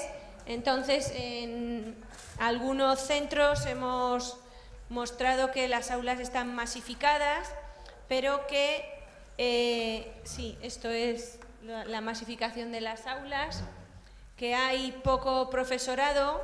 Hemos puesto aquí cinco para una ratio de infinito por profesor. Es un poco esquemático para que lo veáis y bueno, hemos puesto que la familia a veces está un poco apartada, que en el patio a veces hay barreras arquitectónicas y es difícil para los alumnos que tienen eh, discapacidad motora o de movilidad. Eh, los recursos son muy importantes también, los recursos disponibles. Eh, un pegamento vacío o nada, eh, poco presupuesto por parte de las administraciones y bueno, pues los profesores pensando en las ACIS, en los PTIs que tenemos que hacer y bueno, pues bueno, las etiquetas sí que ya los profesores tendemos a eliminar etiquetas o esto es nuestra idea. A veces se consigue, otras veces estamos en el camino y bueno, pues todos juntos pero un poco revueltos.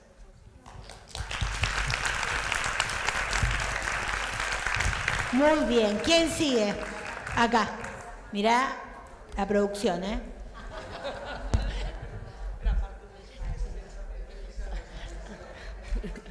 A ver, nosotros hemos realizado como una- un proceso, ¿vale? Hemos puesto en común cómo es el funcionamiento de cada uno de nuestros centros y hemos llegado a la conclusión de que todos hemos empezado a andar, todos hemos en nuestros centros hemos empezado a hacer cambios y por eso hemos intentado demostrarlo a través de tres, tres pasos. El primero eh, fue el ayer, el hoy y el mañana, donde queremos llegar. Vale, entonces en el ayer es cuando a través de las lecturas pedagógicas y de la formación de, de cada una de las, nosotras hemos, se sembró la semilla en cada uno de los centros, como poco a poco ah, nos hemos basado en el- la metáfora del árbol de corales, eso es lo primero, ¿vale? Como ya en la mayor parte de nuestros centros estamos construyendo y estamos cambiando las políticas, las prácticas y las culturas que se dirigen hacia la inclusión, y dónde queremos llegar, es decir, el mañana, donde queremos una- unas raíces fuertes, un tronco fuerte y alto y grande y grueso y pues todas estas prácticas que hemos empezado a desarrollar en los centros, pero que todavía falta mucho por hacer.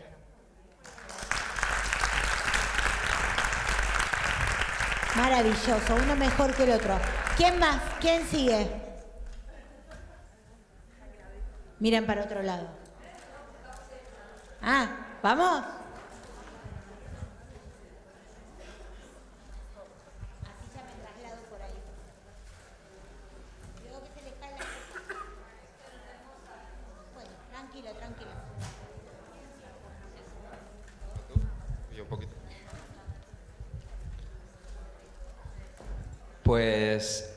la idea es que nos hemos dado cuenta de que tenemos muchos problemas y lo que tenemos muchos problemas para eh, ser inclusivos y lo que, lo, que, lo que hemos querido expresar es que queremos romper estas ataduras para ser unos profesores pues, más libres y, y ser más eficaces. Entonces la idea es rompiendo ataduras, dejando para dejar de ser títeres. Entonces por eso estos no tienen cuerda.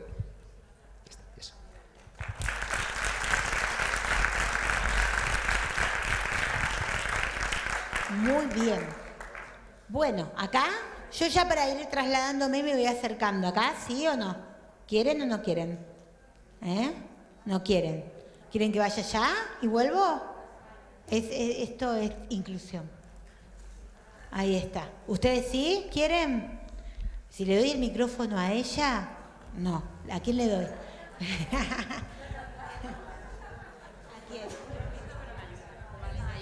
A ver, así trabajo en equipo.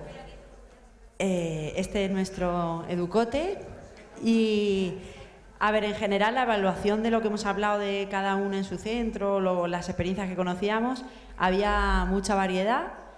eh, sobre todo yo creo que basado más en, los métodos tradicionales, pero sí que es verdad que decíamos que dependía mucho del profesional, de cada profesional, tanto maestros como PT y tal, el que funcione de una forma u otra. Y bueno, esto es un poco lo que hemos creado. Eh, vamos a ver esta cosa. Estas son las gafas de la inclusión que nos, quere- nos queremos poner todas para, transformarnos a nosotras, transformar las, las escuelas en las que trabajamos o a las que van nuestros hijos. Eh, este es el abanico de posibilidades que tenemos, que es muy amplio. Este es el, barco porque es un largo viaje que creo que ya estamos haciendo, pero que nos queda muchísimo por hacer, porque entendemos que esto tiene que ser un poco con paciencia y a largo plazo. Eh, ¿Qué más? Eh, el corazón del barco también porque por lo que hemos hablado que la importancia de aprender a través de las emociones y del amor. ¿Y qué más? La flor, ya me ayudáis. Ah, sí, por lo que hablábamos antes de la creatividad, ¿no? pues nosotros queremos hacerlo diferente, que la escuela no, mate la creatividad, al contrario, ¿no? que, que la ayude y la fomente. Exacto. Y, poco más, y este es nuestro monigote o educote, y también muy importante las manos, porque tiene que ser algo eh, que estemos dispuestos a trabajar, a ayudar, a colaborar. ¿Y qué más? ¿Me olvida algo? Equipo. Y nada, nada más. ah, bueno. Esto, sí, esto empezó al principio del todo, ¿no? Exacto, cuando fuimos viendo pues, la diversidad que había, ¿no? tanto de alumnado como de nosotros mismos, cada experiencia que contábamos que era muy diferente y estaban aquí en una bolsa, pero esto no era inclusión, ¿eh? esto era como mucha integración. ¿no? Pero muy bien. Ahora sí, ¿están listas? ¿Listos? ¿No están? ¿Sigo esperando? ¿Sigo? Bueno. ¿Me voy? Ah, bueno. ¿Vieron cómo soy? no? Nosotros hemos dado la inclusión como un hecho. Entonces hemos visto que hay mm, tres ideas, vibrar, compartir, innovar, que serían la guía de esa nueva escuela que queremos. Y por supuesto, un rincón para cuidarte, para cuidarnos como un nuevo concepto de escuela en la que los libros se trasciendan de otra manera con orgullo, con valentía, la gente empiece a trabajar sus dos hemisferios, ya que siempre trabajamos uno en la escuela. Y la aportación de que muchas personas pueden hacia la misma mirada y, ven cosas distintas. Y aquí vemos, pues, tres, cinco, son, a ver, tres y dos, cinco sabores distintos indican personas distintas saboreando el aprendizaje de manera distinta. Aquí el valor de un gran personaje español, y Esto es lo que se veía ahí un poco también, el así no se hace y eso lo hemos buscado como eso es lo que no queremos. Eh, una escuela para todo, por supuesto, la diversidad y en cuanto al tiempo, la gestión del tiempo, hemos dicho detente, vamos a seguir el ritmo del niño y además a cada día le vamos a implementar pues una actividad nueva, el descubrir, el martes escuchar, el miércoles disfrutar y el jueves leer. Y bueno, pues aquí un niño que va en una sillita de ruedas expresando la, valentía del que pueda, la, superación. Y por último, un cuerpo, son cuatro piernas ahí de distinta manera y lo hemos eh, expresado como niños invisibles, cuerpos que hablan. ¿Qué nos quieren decir? ¿Qué nos quieren decir?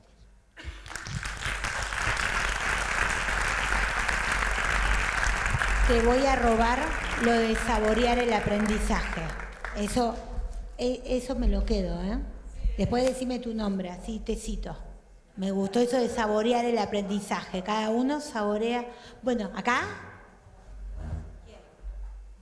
¿Vos me miraste con una cara de resignado? No. Sí, sí, tengo.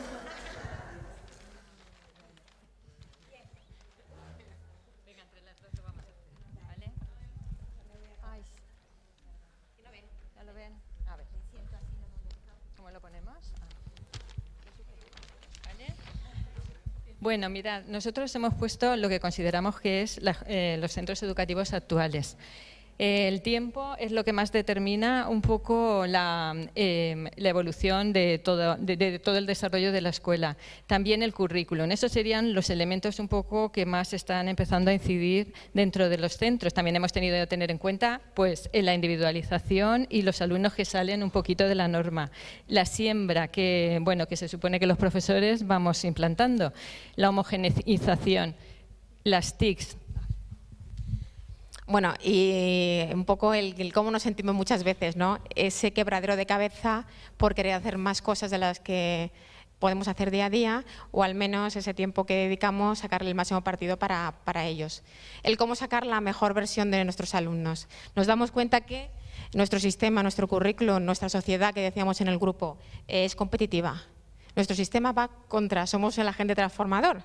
Y de alguna manera intentamos con ese pensamiento, ¿no? Qué herramientas tengo del día a día para intentar que mi aula, con esa diversidad que son los zapatos de diferentes colores, eh, pues podamos, con ayuda de las TICs y alejándonos del currículum lo que nos haga falta, ya tendremos tiempo para que el que tenga que seguir estudiando lo estudie, pues llegar a otros tiempos y sobre todo eh, de una mazorca que son, están todos unidos y como están hoy en día, llegar a poder sembrar muchos alumnos diferentes. ¿vale? Y que la profe, que es una pequeña sonrisa, deje ese día a día y ese lunes, eh, porque eh, comentamos al principio que esa era la cara que se nos pone a los profes los lunes.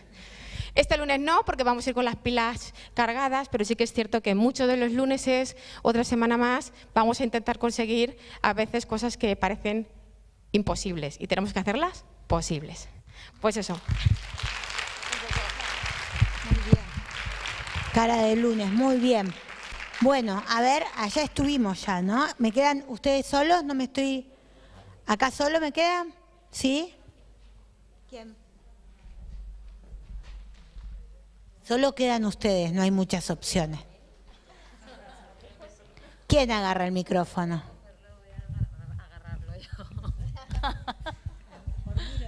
Claro.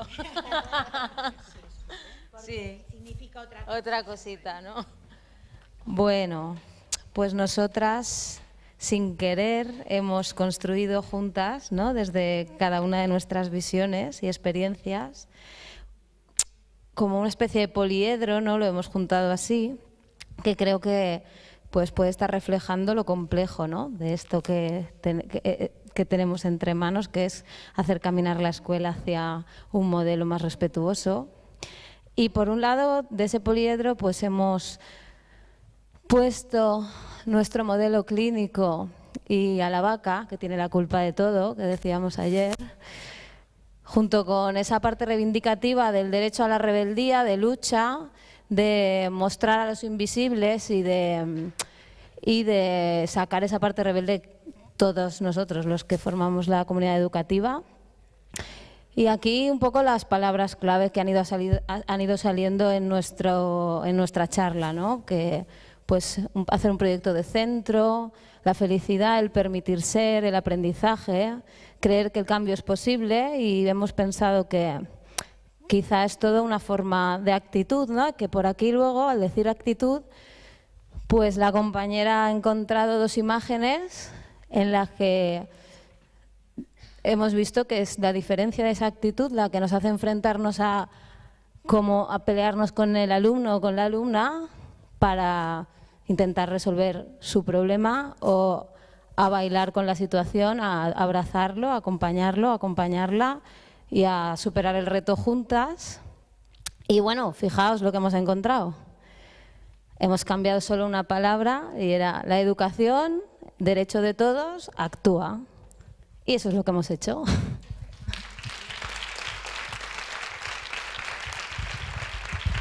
una foto a, esto y me la.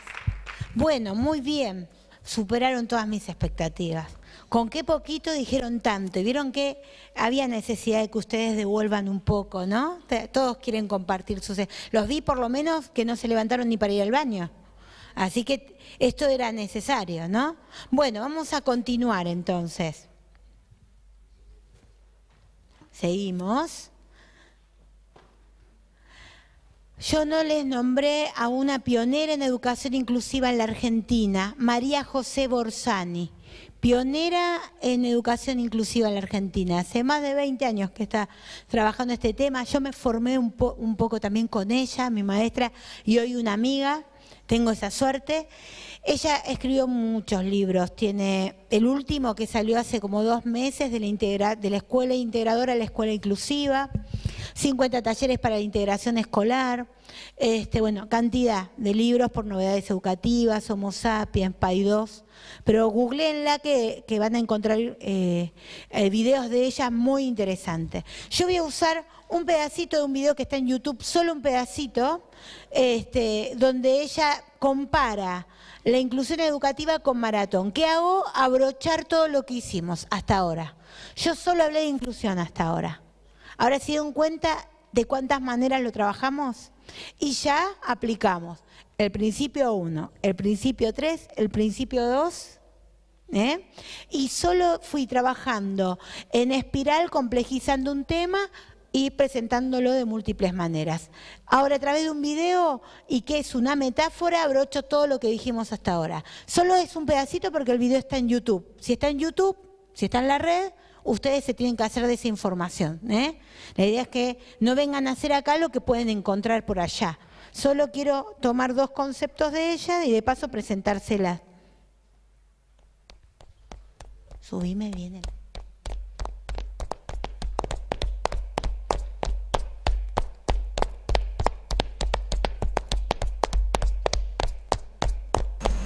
La maratón es una carrera de resistencia a pie que recuerda la legendaria hazaña del guerrero griego Filípides que, según cuenta la leyenda, corrió desde Maratón hasta Atenas para anunciar la victoria de los griegos contra los persas en el año 490 a.C.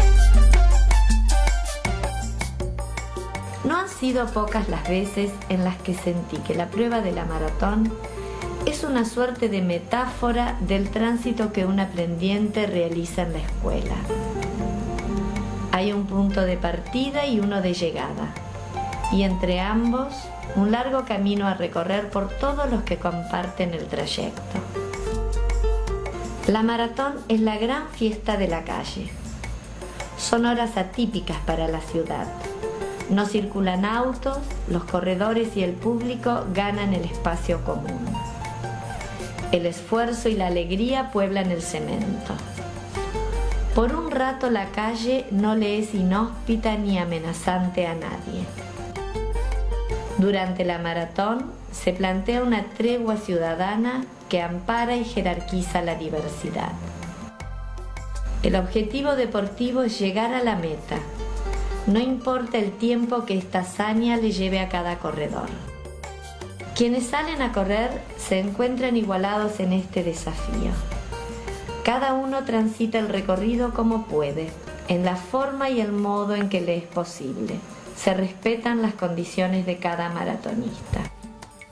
La maratón se ofrece como una prueba democrática, con amplia oferta de participación que equipara a grandes y chicos, ricos y pobres, hombres y mujeres, principiantes y experimentados. Lo buscan en YouTube. Pero a ver, cerrando todo lo que dije, y además se mete con conceptos de DUA. ¿no? Dice un acto democrático. Y DUA es lo que viene a ofrecer, el tema de la justicia educativa. Dice, por un momento en la calle ya no lees y no hospita a nadie. DUA dice disminuir los riesgos. Los riesgos tienen que ver con tu propuesta, que genere violencia en el otro. ¿sí? Porque a veces te enamoras de tu pizarrón y lo escribís todo con tanta pasión y no te das cuenta que hay chicos que no pueden reproducir ese pizarrón porque no tienen la orientación espacial como para volcarlo en su carpeta. Entonces ese pizarrón que vos amás, para él, a él le genera violencia. Entonces dice, la maratón implica esto. Por un momento se quitan todos esos obstáculos, ¿no? Para que cada uno se exprese y dice con amplia oferta. Entonces, en silla, en bastón, en bicicleta, ¿no? sin, sin apoyos. El objetivo es llegar a la meta, dijo. Que lleguen todos, no importa el tiempo que le lleva a cada uno. ¿Eh? Entonces, piensen en esas ideas que un poco sintetizan todo lo que trabajamos estos dos días sobre inclusión. Maratón, y, no dejen de verlo porque creo que es justamente una metáfora, a- otra forma de decir lo mismo. Formas de presentar y representar un tema, ¿me van siguiendo? ¿Se van dando cuenta cómo lo aplico? Recuerden, hoy mi entorno es este, ¿sí? Bien, entonces vamos a diferenciar el principio de accesibilidad universal con el de enseñanza adaptativa. El principio de accesibilidad universal nace en dónde? En arquitectura. Y yo acá les di permiso los siete principios que tiene en cuenta. Es este, ¿sí? Les dejé uno en cada mesa, ¿sí? De, de estos siete principios, en algún lado está, de estos siete principios, DUA, que se inspira en estos siete principios, ¿sí? Los convierte en tres y los piensa en la escuela. Pero si ustedes miran, dice que el diseño sea equitativo, de uso flexible, intuitivo, que se trabaje la tolerancia al error, información perceptible, uso del mínimo de esfuerzo, tamaño y espacio. Esto en el desarrollo de qué? De ambientes y lugares públicos que contemplen a todos y el paso de la vida, no que contemplen a todos y las personas con discapacidad, simplemente que contemple el paso del tiempo. ¿No? Te vas haciendo grande, no tenés fuerza, tu motricidad no te permite abrir una grifería y entonces hoy tenés la posibilidad de con el codo podés levantar y, y lavarte las manos. Eso es accesibilidad universal. ¿No? Vos lo pones por estética, pero resulta que contempla todas las posibilidades. No necesito poner un baño para personas con discapacidad. Si el baño fuera diseñado con el principio de accesibilidad universal, contemplaría todos los posibles usuarios, diría. Bueno, lo mismo pasa en la escuela. Si yo trabajo con el enfoque del diseño universal, no necesitaría la enseñanza adaptativa. Solo yo hago adaptaciones cuando agotado el principio de accesibilidad, agotado DUA, un alumno igual no aprendió. Pero no arranco por la adaptación. DUA dice se planifica pensando en los límites. El que más puede, el que menos puede. Y entonces contemplo todo el universo. ¿Entienden? Si yo planifico teniendo en cuenta los dos límites, tengo a todo el universo. Aplico DUA. Un alumno no aprendió, recién ahí debería llegar a este concepto. Llevémoslo a arquitectura, mira la oficina. ¿eh? La amplitud que tienen para moverse, que le permite a una persona con discapacidad ingresar sin ninguna dificultad. No necesito el logo para personas con discapacidad. Ahora mira, te compraste una casa, primer piso por escalera. No hay forma de meter un ascensor. Una persona con discapacidad monta carga. Vos vas a esa casa de visita, el baño está en el primer piso, ¿te subís en el montacarga? No. Eso es una adaptación específica, un ajuste a un, ¿no? una respuesta a una necesidad específica. ¿Entienden? Esa es la enseñanza adaptativa. En cambio acá flexibilizo, teniendo en cuenta todas las posibilidades. Primero arranco con el principio de accesibilidad universal y miren que si taparan las imágenes de esa síntesis es lo mismo que voy a trabajar en DUA. O sea, que tengan bien en cuenta esos principios porque explica muy bien, digamos, es una muy buena base para después profundizar DUA. ¿Sí? Espera un momentito, que añado una cosa. Sí. Simplemente eh, añadir lo que ha dicho Silvana, que, que nace en el contexto de, de la arquitectura. En los años 70, un chico que iba en silla de ruedas, que acaba de estudiar eh, pues, arquitectura, eh, decide que, las casas tienen que ser accesibles desde el primer momento. Porque ellos, a finales de los años 60, un grupo de amigos, chicos todos, querían ir a estudiar a la universidad y ninguna universidad les aceptaba, estaban en Estados Unidos. Ellos al final consiguen que les acepten en la universidad, pero se tienen que alojar en la enfermería. Y entonces ellos pues eran tan revolucionarios como todas las personas que estamos aquí, porque un sábado, aquí todos trabajando, ¿no? Esto, va en las venas, esta revolución. Entonces aquellos empezaron a, mover, a moverse y se reivindicaron un movimiento de vida independiente. ¿Y ellos cómo definían la palabra independiente? Esto es interesante. Independiente no es la persona que sabe hacer las cosas por sí mismas, sino la persona que con los apoyos, los ajustes necesarios puede tener calidad de vida. Entonces aquí es donde yo más énfasis pongo siempre en los coles, porque esa es la clave para mí cuando veo a los coles. ¿Qué apoyos, qué ajustes necesitamos que nos dice el DUA para que estos niños, estas niñas puedan estar en igual condición que los demás dentro del aula? Entonces aquello que nace, la accesibilidad universal en el mundo de la arquitectura, eh, tiene que ir de la mano obligatoriamente de un diseño universal de unos principios, que es lo que se estaba contando ahora eh, Silvana, que son esos principios que hay ahí. En los años 90 se empieza a hablar del diseño universal para el aprendizaje y hasta aquí puedo contar. No, ahí seguimos, mirá. Bueno, ¿qué implica? Primero, detectar las barreras. Ojo que mucho de la, y casi la mayoría de las barreras tienen que ver con el discurso instalado dentro de una escuela. ¿Sí? Pero obviamente voy a tener que hacer una evaluación como para poder entender dónde están las dificultades para poder aplicar DUA. ¿Con qué objetivo? Evitar esta carita de frustración. ¿Sí?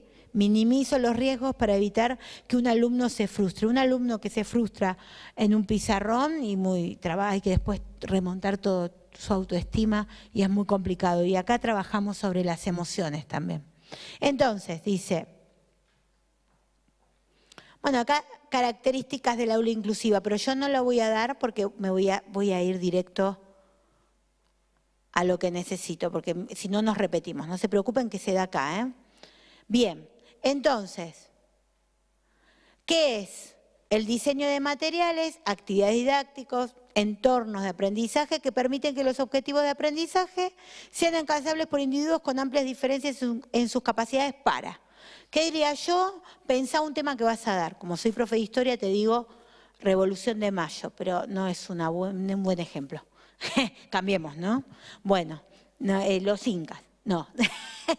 Vengo con el mes de octubre. Bueno, cualquier tema. Pensá en un tema y vos tenés que pensar si tu planificación contempla esto. Actividades que tengan que ver con el estímulo visual, el auditivo, que puedan hablar, que se puedan mover. Piensen todo lo que estoy aplicando. Ustedes se movieron, hablaron, leen, porque generé materiales de lectura. Por ahora no escribieron, ahora van a escribir un texto. Entender la lengua, te lo estoy explicando de un montón de maneras, estoy explicando exactamente lo mismo. Logro que me presten atención hasta ahora, ¿no? que no estén sintiendo el cansancio y no me están prestando atención por mi carisma. ¿eh? Eso se los puedo asegurar. No soy yo la que logra que me presten atención, porque si fuera así, mi marido no me hubiera abandonado, ¿me entendés? Entonces, es mi entorno de aprendizaje, es la propuesta la que logra que ustedes se mantengan. Se tienen que organizar, ¿se tuvieron que organizar o no ahora? ¿Sí? Participar y recordar. O sea, un, un mismo tema tiene que tener todas estas posibilidades. Yo lo usaría como testeo de si hice una buena planificación. Y acá me van a testear a mí, ¿no? Ya, veo las caras, ¿eh? porque hay que aplicar inteligencias múltiples, dijo hoy Coral. ¿Y ustedes? Se agarraron la cabeza con esto. ¿no? Pues todo eso para un mismo tema, no termino nunca más. No es tan difícil. Bueno, añado simplemente una cosa. ¿Os acordáis cuando os decía yo esta mañana que las actividades tenían que estar enriquecidas? Es eso realmente. Yo ahora ya hago un blog DUA. Siempre, últimamente, eh, escribo y hago un vídeo. Quien quiere va a leer el vídeo, quien quiere lo va, o sea, va a ver el vídeo o si no se lee o si no las dos cosas. Muy bien. Bueno, yo les recomiendo leer, que la seguimos los dos, Carol Tomlinson, Estrategias para trabajar con la diversidad en el aula de PAI 2. Por ejemplo, trabaja eh, planificación diversificada, ¿no? Como para seguir dándoles bibliografía como para... Sí. ¿Qué dice Carol Tomlinson? Que ya lo único que digo, hay otro libro de Carol que es el que tengo yo, que es Aulas diversificadas. No, pero yo creo que van a ser el mismo. Ah, no. Es muy interesante, ¿eh? muy, muy fácil de leer y muchas ideas. Por eso digo, las dos las seguimos, por eso se lo estamos recomendando. Dice, la, la educación diferenciada no es la de los años 70, individualista, que saco al chico, lo, lo preparo para recuperar y vuelve al aula, porque siempre vuelve con desventaja, porque el aula sigue avanzando, ¿sí? Dice, no es caótico, trabajar así no genera caos. Ustedes son grandes y no se dispersan, pero si los chicos están trabajando así y el tema y la propuesta los convoca, tampoco se dispersan. No se te van a escapar, no se te van a colgar del techo, pueden trabajar así sin generar caos. Cuando la propuesta convoca al niño, entonces va a estar trabajando, lo podés mandar a trabajar al patio y no cuidarlo, que no va a pasar nada, si realmente tu propuesta lo convoca. ¿No? Ella dice, es más cualitativa que cuantitativa, es orgánica, ¿sí? Eh, bueno, en fin, como para leerla, se los recomiendo y para sacar ideas.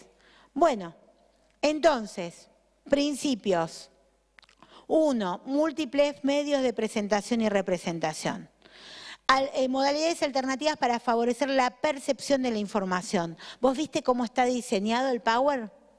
como para que ustedes vayan, eh, y va cambiando la letra y le busca el efecto y te pone modalidades alternativas para favorecer la, percepción de la información. No solo eso, sino también lo auditivo, la forma en que te hablamos. Yo podría hacer un relato y generar un ambiente.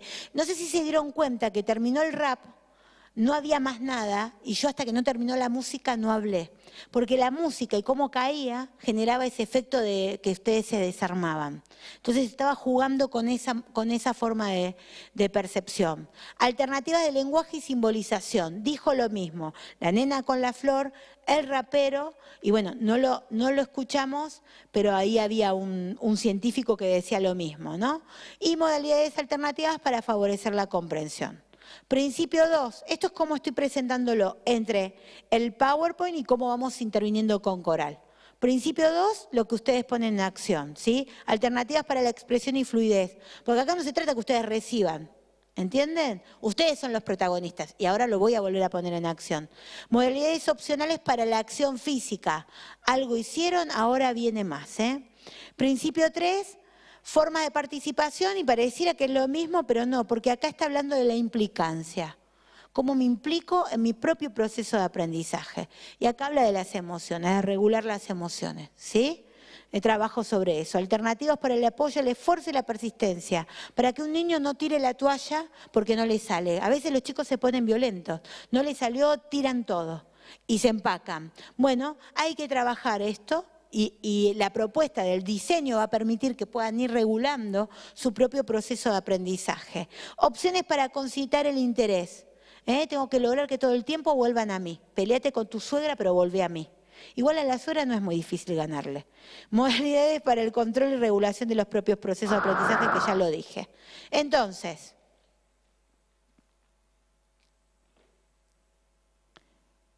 alternativas que ya dio eh, Coral, ¿no? Di- Dijo algunas, yo, bueno, tutorías entre pares, agrupamientos de alumnos en el aula, que es la disposición que puse, eso genera un clima, organización de trabajo en el aula, aprendizaje cooperativo. Esto no lo profundizo porque hoy lo vieron muy específicamente con Coral. Cham. Yo sé lo que están pensando, ¿eh? Todo muy lindo, hasta acá llegó mi amor. Esto es imposible de hacer. Mirá. Entonces, como se están imaginando una super mega planificación DUA o planificación diversificada, voy a quitar esa idea y demostrarles que hay con dos actividades que contemplan los tres principios solo en una actividad. O sea, no todo es la super planificación, ¿sí? Yo tengo que tener variadas planificaciones, pero también puedo arrancar con actividades únicas, una actividad que contemple los tres principios. Les voy a demostrar que existen actividades que contemplan los tres principios. Así bajo la ansiedad. De ahí a las planificaciones diversificadas, ¿sí? Bien, ¿qué es lo que van a hacer? Miren, van a grabar, no van a filmar porque no tengo filmadora, pero sí van a grabar y van a dibujar, pero no es cualquier dibujo. Mira.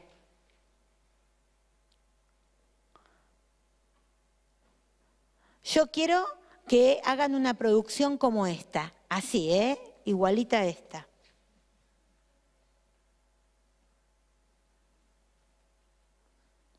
Tiene... Estamos en Rusia a principios del siglo XX. Como sabrás, es en esta época cuando se desarrolla uno de los cambios más importantes para este país, la Revolución Rusa. Pero ¿sabes cómo era Rusia antes de la Revolución y cómo fue después?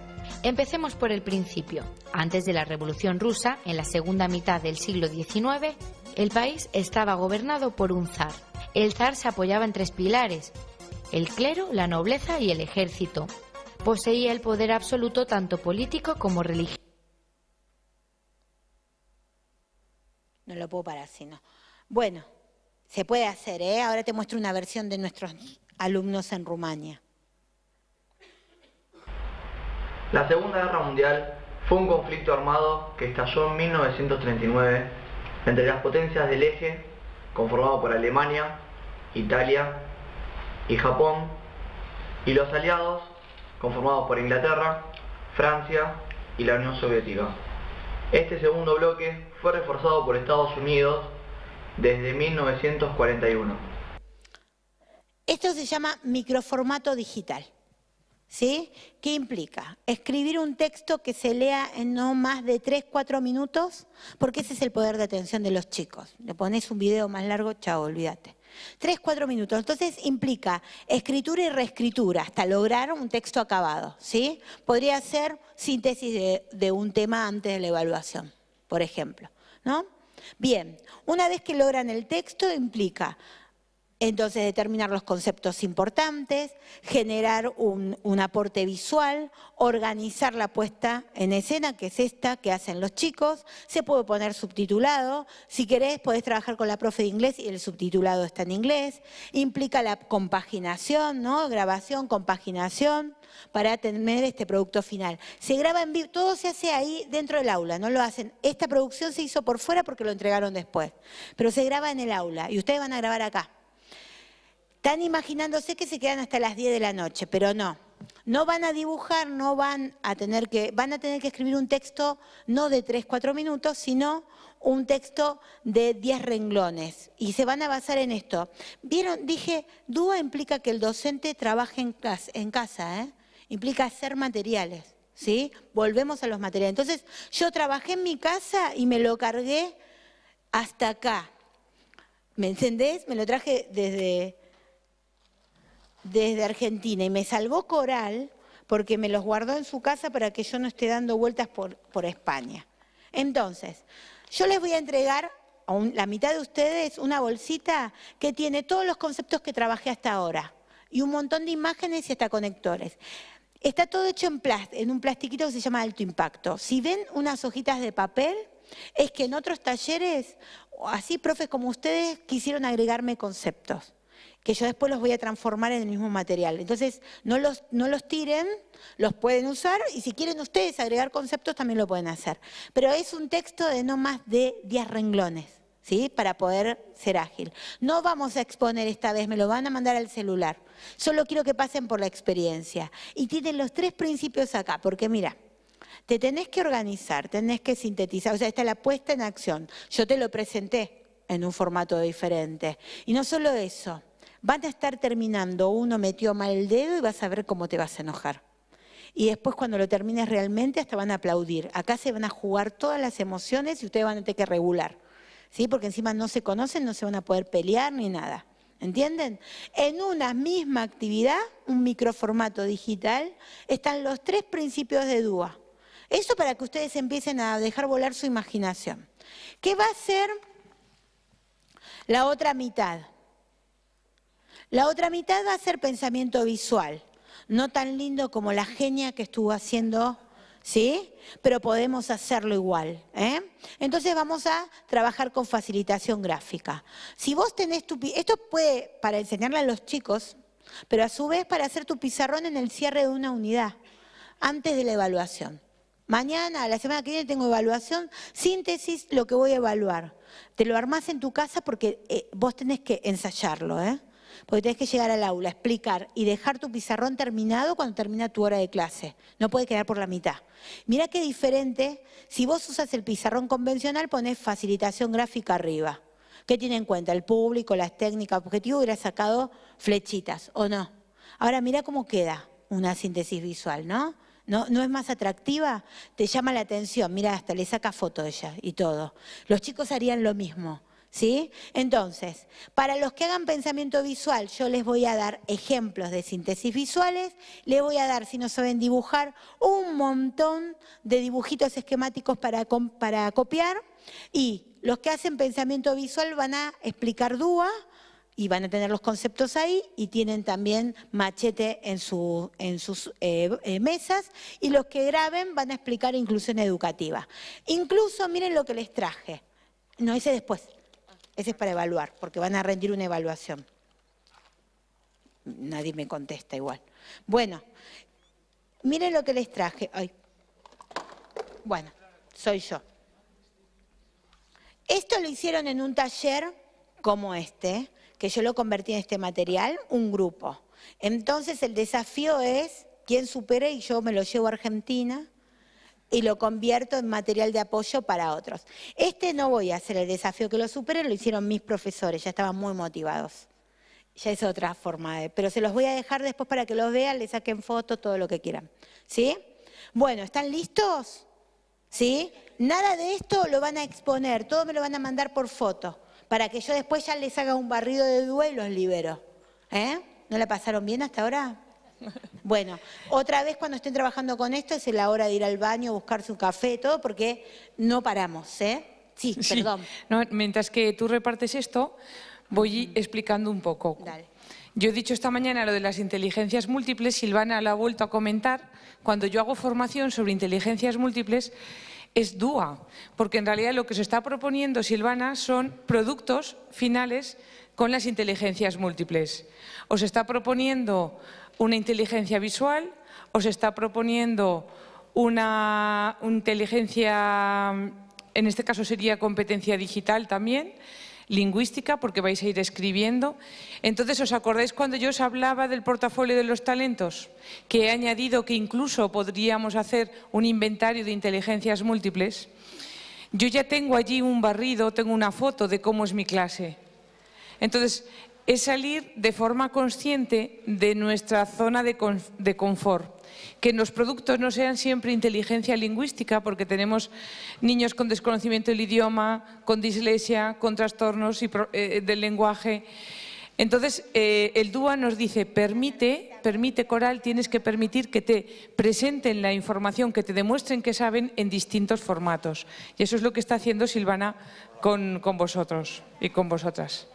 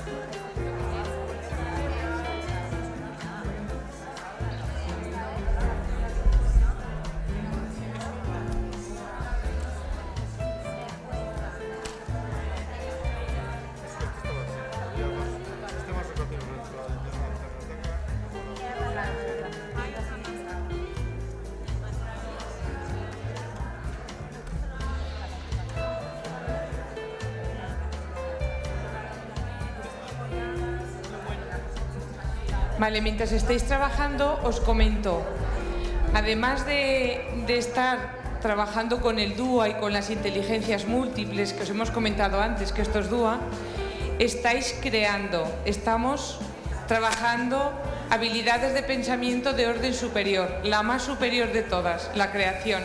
Estáis pensando con las manos, simplemente era eso.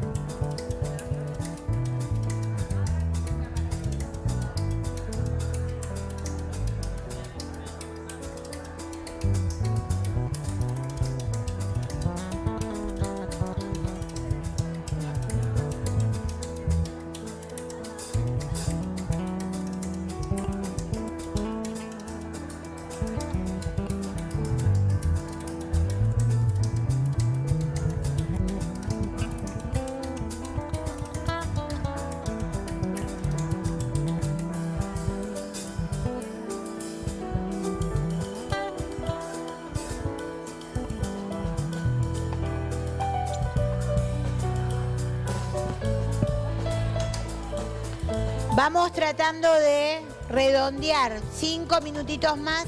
¿Estamos? Intentemos en cinco.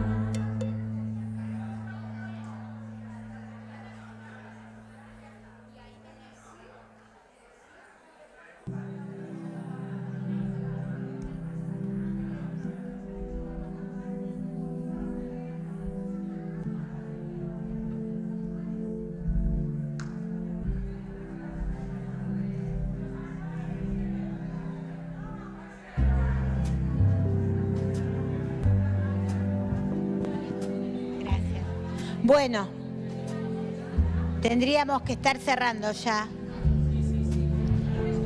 Si terminaron, les pido pongan todas las palabritas en la bolsita para devolverme. Retiro solo la bolsita de palabritas y la hoja amarilla que entregué a los que están mm, trabajando con pensamiento visual. Lo demás no.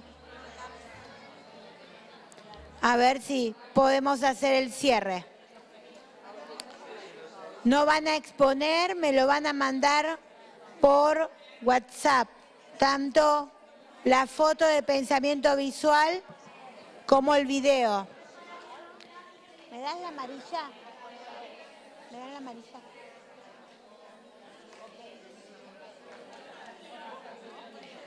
¿Estamos cerrando?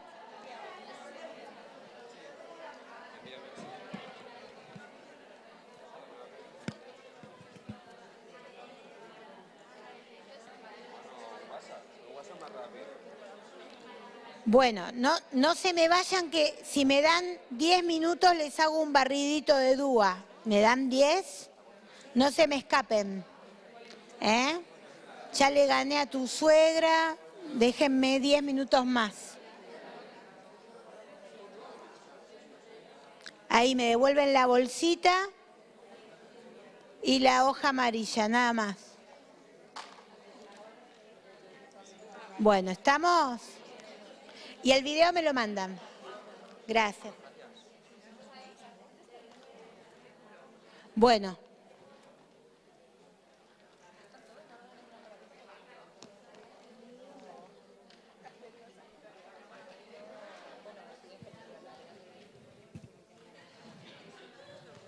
Sí. Bueno, ¿estamos? ¿Todo me, ¿me das la bolsita? Falta importa. no importa.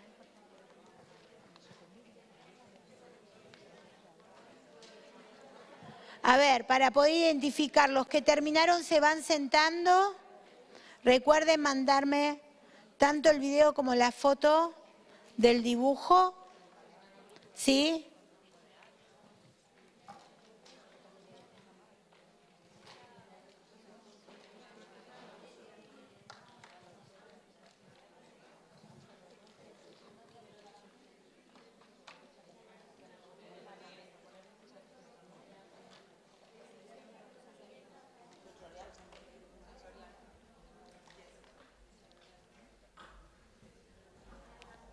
¿Me pones?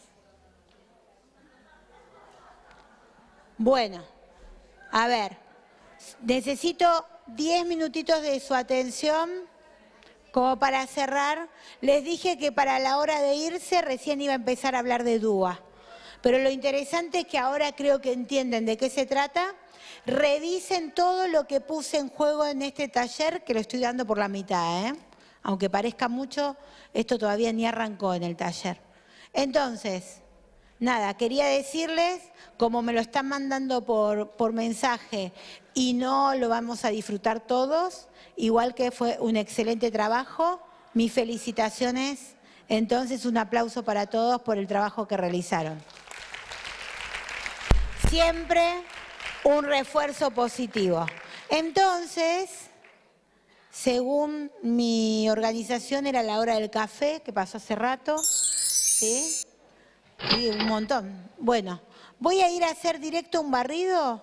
Solo voy a elegir algunos principios, ¿sí? Eh, los tres principios, algunas pautas. Solo algunas pautas que tengo ahí, como algunas imágenes como para reforzar algunas ideas y nada más, ¿sí? Diez minutitos, solo un barridito, lo demás les toca a ustedes. Ahora ustedes tienen que investigar sobre DUA, pensar qué actividades hacen con ese enfoque, porque nadie inventó nada en esto, y empezar a sistematizar sus prácticas. Principio uno, múltiples formas entonces de presentar y representar un tema. ¿Sí? Como los estudiantes difieren en la manera de percibir y comprender la información, yo no puedo tener una sola propuesta para ellos. ¿Sí? Entonces, voy a acelerar la presentación. Así. Bien. Entonces, en la pauta 1, que habla proporcional opciones de percepción, Dice, opciones para la personalización de la información. Yo todo el tiempo estuve personalizando la información en el Power.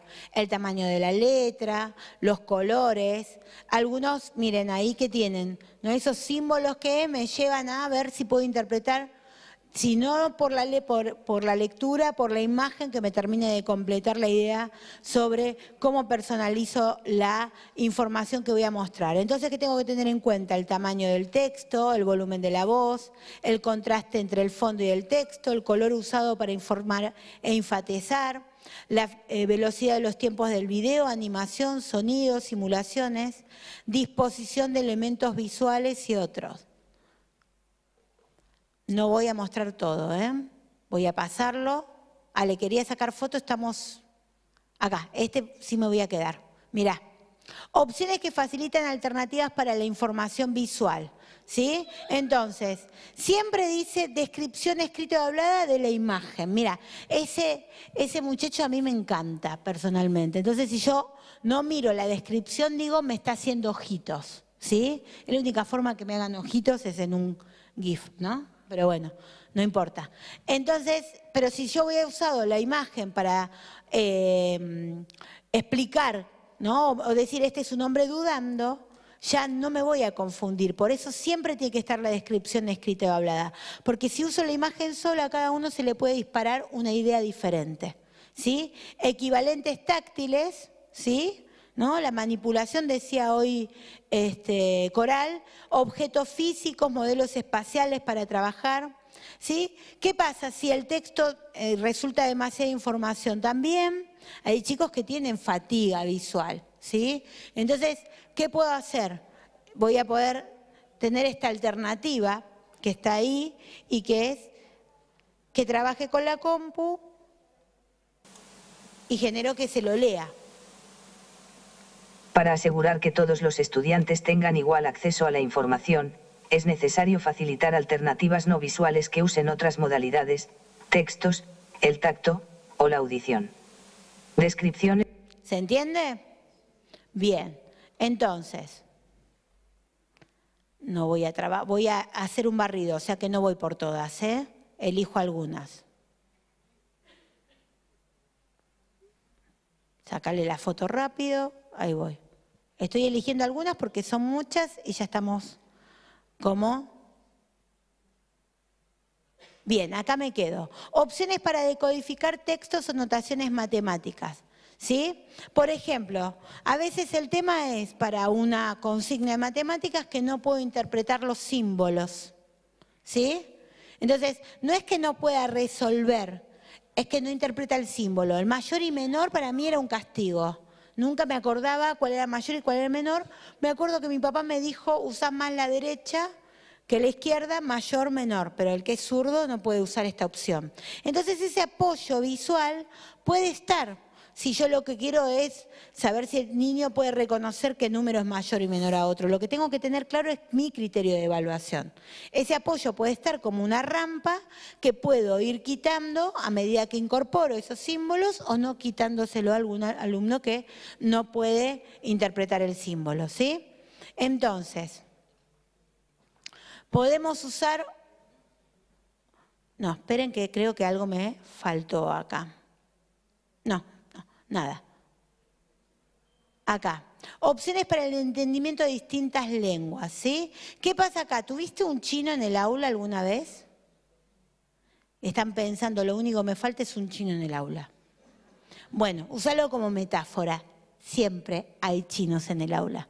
Siempre hay chicos que no comprenden nada de lo que vos le decís o vos le estás hablando en chino y él cuando te devuelve también, ¿viste? Vos le das café con leche y te devuelve chocolate en la evaluación. Y decís, ¿este chico qué le pasó? Bueno, ahí hay un tema de comunicación. Pero usá esa metáfora como lo pide Dúa. Dice, si tenés alumnos que tienen distintas lenguas, ¿cómo trabajás? Generalmente lengua dominante mata lengua materna, ¿no? ¿No? La lengua local mata. ¿Qué le vas a pedir que vaya a aprender rápido el idioma?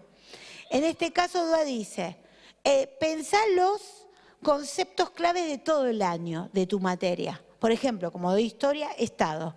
Todas las palabras que se van a repetir durante todo el año. Esas ya están en los dos idiomas en, el aula. en carteles, porque así va entrenando el oído, ¿sí? En su idioma, en el nuestro, y empieza a entrenar. Son las palabras que se van a repetir en todas mis clases. Y después todas las que tengan que ver con las habilidades sociales y con, con, el otro, ¿no? ¿Para qué? Para que no haga solo el esfuerzo él de aprender el idioma, sino sus compañeros también de comprenderlo. Buenos días, buenas tardes, tengo hambre, hace frío, hace calor, en su idioma, en el nuestro. Bien, ahora pensé en cómo decodificas todo esto para el alumno que no te está entendiendo. ¿Sí? Por ejemplo, hoy le daban la opción lectura fácil. Las mamás lo trabajaban tan, tan bien, todas las opciones, que tiene que ver con esto. ¿Sí? Mira, desde el concepto de simplemente no comprender la lengua a poder usar la metáfora de aquel alumno que no entiende lo que vos le estás eh, transmitiendo. Entonces, sirve incluso para eso. Bien, opciones que ilustran conceptos claves no lingüísticos, ¿sí? Entonces, hay opciones en, la web que te permiten trabajar de otra manera, animar tus gráficos, porque de alguna manera llaman más la atención que si lo dibujo en el pizarrón y queda ahí planito. Si yo le pongo la animación, hoy las mamás trabajaban con realidad aumentada, y a mí me, me, me partieron la cabeza, dicen que exageró mucho, pero digo, mirá si vos podés ir con eso al aula, ¿no? Bien. Conceptos claves presentados de forma de representación simbólica.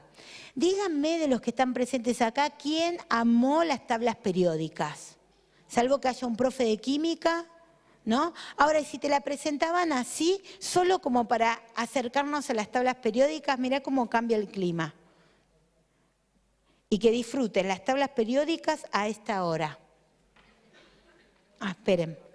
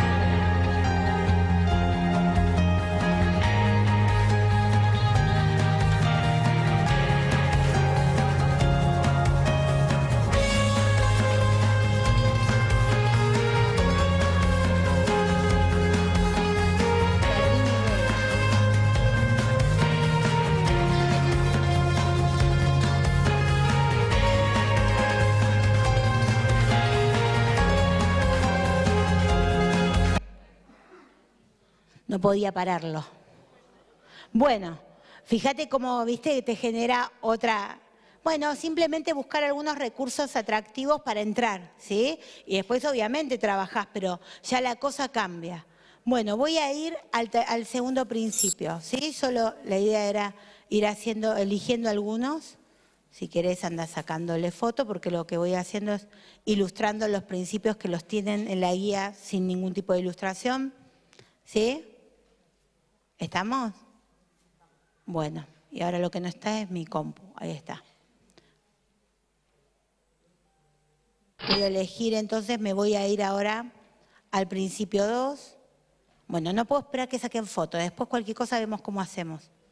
Si les puedo mandar unas capturas. Principio 2. Bien, principio 2 creo que aplicamos todo acá. Grabaron, dibujaron, hicieron collage, eh, hicieron casi como maquetas, un poco de todo, pero vamos a ir analizándolo igual. También en las opciones de respuesta física no todo es esta creatividad. Mirá acá, un alumno con disgrafía. La profesora cree que con eh, una hoja cuadriculada resuelve el problema. Y fíjate qué pasa, son tan chiquitas que todavía es imposible leer lo que escribió este, este niño. Ahora, mira la opción. ¿eh? No todo es esta super mega producción que hicimos acá. Esto también tiene que ver. Un renglón remarcado que lo encuadra. Vos no curas la disgrafía, pero podés leer su producción. Medios alternativas de respuesta, selección y composición. ¿Sí? Bien el uso de las tecnologías. pero quiero ir eligiendo algunos. Formas de comunicación, mirá. Ustedes trabajaron con, no hicieron esto, pero trabajaron así, haciendo una suerte de maqueta. Estudian Egipto y hacen estas producciones no para mostrarlo, sino como parte del aprendizaje. ¿sí? Y acá no se aprecia por la luz, pero esto es un teatro de sombras. Y se usó en cuarto año, de en cuarto año, ¿no? Un teatro de sombras y explicaban el bombardeo a Perón. Y los chicos bajaban los videos de, de YouTube, los convertían en un MP3, entonces era el audio. Con el profesor de plástica hicieron los perfiles de Perón, armaron y en sombra transmitían ¿no? todo lo que iba pasando durante el bombardeo. Una experiencia que no se olvidan más. Y se puede usar en un cuarto año del secundario. Los chicos lo disfrutaron y no se lo olvidan. ¿sí? Ahí mismo ya hay evaluación. Digo, volvemos, eh, cuando hablaba de, de manipulativo, hoy hablaba coral, ¿no? las matemáticas, todo, que también esté presente el tacto, todo esto, ese aprendizaje y esa producción ya se puede evaluar. ¿Sí? Bueno. Ahí también planteaba el tema de usar algunos recursos como la calculadora geométrica, por ejemplo. Un alumno con parálisis cerebral y con, una discapacidad motora no puede manipular los objetos de geometría. No es justo ponerle adecuación porque, tenés que, porque no puede manipular esos objetos. Le enseñás con una calculadora geométrica y no va a ningún tipo de adecuación. ¿Entienden? Vuelvan al concepto. Nadie le pide a un ciego que lea con los ojos. ¿Eh? Entonces, piensen que, piensen que las de acceso son de justicia y equidad. Entonces, no puede figurar como una adecuación, no puede evaluar su título. Cuando yo le decía, no voy a devaluar título, ¿sí? Porque lo que hice fue trabajar con el enfoque, con el principio de la equidad. Bien, a ver si puedo, voy a ir eligiendo. Ya llego. Quiero elegir alguna con algún videíto. Ah, pero acá sí está bueno. El tema de memoria a corto plazo. Se traba- nosotros trabajamos también con fichas. Cada tema en una fichita, el tema de un color, el contenido tiene algo visual ¿no? y algo escrito. No es este el ejemplo concreto. ¿eh? Pero ¿qué hago? Cuando pasa el oral, viene con la ficha vacía, con el título del color, y entonces cada fichita vacía con el mismo título y el mismo color le permite evocar un contenido. Entonces lo usa como apoyo para dar un oral. ¿sí? Eso que decía yo, un machete habilitado, es como, no, no se, no se está copiando, pero tiene un disparador, que es el título, que le va a permitir recordar el contenido en su ficha. ¿no? Por ejemplo, para trabajar memoria a corto plazo. Bien, acá los alumnos tienen que poder seguir sus propios, pro- sus propios procesos de aprendizaje, no en relación a los demás, sino en relación a cómo él va evolucionando, qué es lo que se preguntó ya hizo, qué tiene pendiente, ¿sí? qué todavía no inició, qué logró, y entonces no se está comparando con el resto. Esto es fundamental, ¿sí? Dice autosupervisión. Bueno, y llegamos al principio 3 como barrido y ya los voy dejando en libertad. Ahí está, la motivación. ¿eh? Que venga así de feliz este, al aula. ¿Lo ves? Ustedes vinieron re felices y se van re felices. Espera, no terminé. Me estás echando, me estás echando. Esperá, yo ya me voy, espera. Va- Vamos con el interés. Quería mostrarle... eh, eh, cuando la actividad tiene pertinencia, tiene valor y autenticidad. Mirá, los argentinos amamos a los esquimales. Los esquimales aparecen en todos los libros de texto, en todos los cursos, desde la primaria a, la secundaria aparecen siempre. ¿Cuándo vamos a ver un esquimal en mi vida? ¿No? Pero yo trabajo con la comunidad boliviana, con la comunidad paraguaya, con la comunidad peruana. Si voy a hablar de cultura, ¿por qué le voy a hablar de los esquimales? Entonces, para que esto tenga pertinencia, valor y autenticidad, si hablo de cultura, que vengan y expongan ellos su propia cultura. Y mirá la cara de felicidad, una comunidad que suele ser silenciosa, que no suele expresar sus sentimientos, que nunca hubiera expuesto su ropa típica delante de todos sus compañeros y que además traían la comida para este, compartir. En esas semanas engordamos todos, porque todos traían sus comidas típicas. Y además nos iban, nos enriquecieron porque ellos explicaron el culto a los muertos, que ahora por Coco todos la sabemos. Pero en ese momento no, no estaba esa película. Todos pensamos que la ropa de esta niña era de carnaval y la ropa de esta niña era del culto a los muertos. Y es justo, justo, justo al revés. Porque ahora entendemos que el culto de los muertos es una fiesta. Y entonces traen la comida que se ofrece, que se veía perfectamente en la película, pero que hicieron, la ofrecieron a todos sus compañeros. Autenticidad, valor, pertinencia, enseñar en contexto. Trabajo con el contexto donde está mi escuela. Entonces, el libro de texto te propone los esquimales, cambiás ese texto por algo que tenga que ver con ellos. ¿Sí? Siempre algo que tenga que ver con lo mismo los problemas volverlos a redactar, poner los problemas en relación a las cuadras de que significa llegar al, colegio, a, situa a situaciones cotidianas de ellos que tengan que ver con el lugar donde están.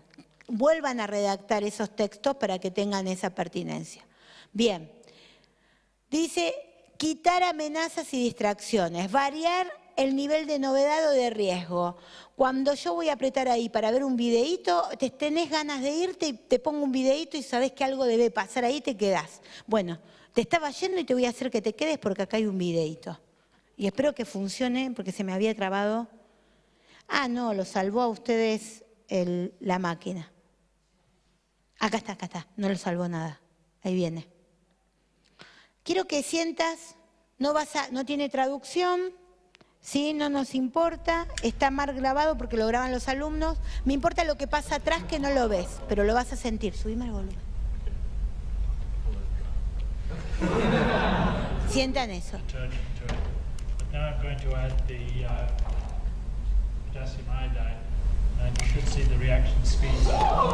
¿Sienten?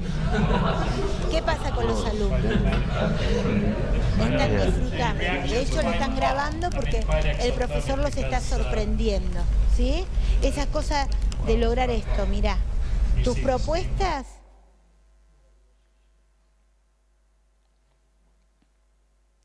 Mirá, ¿eh? Eso. Eso tenés que lograr. Que venga así, esté siempre pensando, ¿qué más me va a mostrar? ¿Qué más va a hacer? ¿Eh? Y, o también puede ser que en este momento diga, ¿cuándo va a terminar? ¿Cuándo va a terminar? Pero ustedes no lo dicen y yo me quedo con esa imagen. Bueno, voy les juro que ya termino. Quiero ir a un videito nada más. Esto de objetivos, metas, porque hay momentos donde están solapados los dos principios ¿sí? ir cambiando los niveles de desafío, los apoyos para que se vayan superando.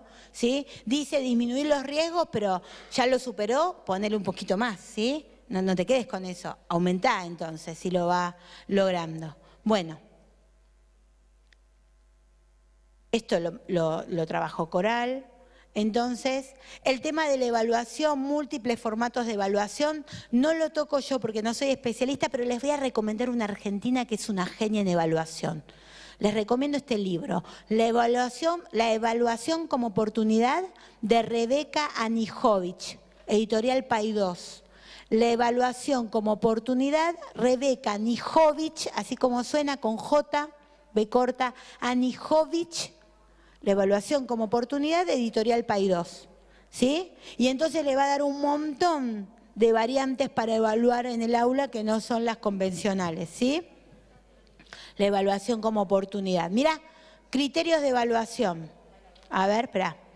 Una de estas cosas es diferente al resto, marca con un círculo lo que le no pertenece al grupo. Y mira lo que señala el niño. ¿Sí? Y mira la maestra. ¿Se enoja? ¿Por qué? La realidad es que era la mesa, ¿sí? Bueno, criterio de evaluación en la mente de la profesora, ser vivo. Criterio para responder en la mente del alumno, número de patas. Entonces, siempre que el chico vos le das chocolate y te devuelve mate cocido, te devuelve café con leche, no pienses que está delirando. Sentate a ver qué interpretó.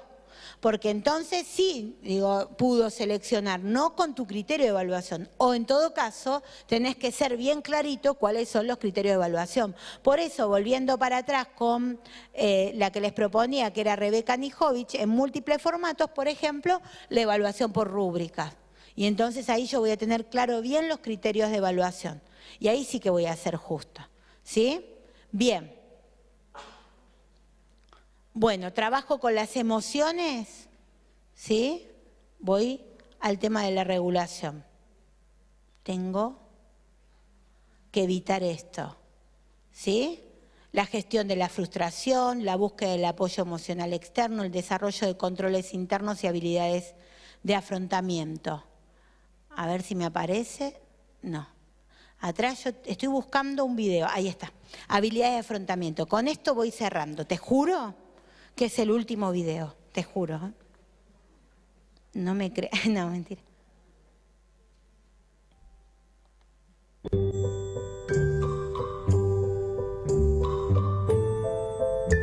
Pues ara, en, aquell, en aquella pissarra d'allà haurem de fer un dibuix molt xulo, ¿vale? Tens pintura i demás coses per allà. Saps allà? I ¿vale?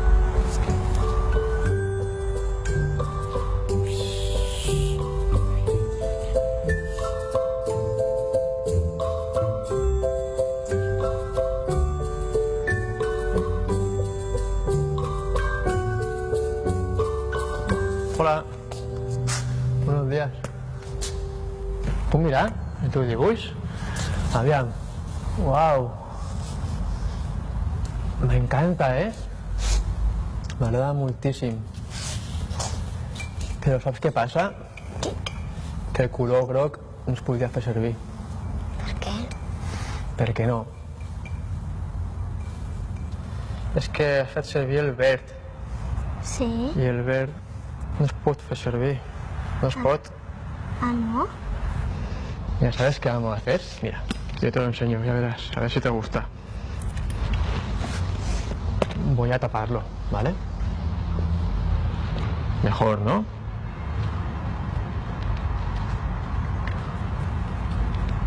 No. Fem aquí així i aquest, així. Y así ya el groc nos vemos, ¿vale? ¿Nubes se pueden? ¿Nubes se pueden? Sí. Aganeamos, ¿vale? A ver, esto por aquí. Aquí hay un poco de césped para caminar, para hacer una Pues, pirueta. todo fuera, ¿eh?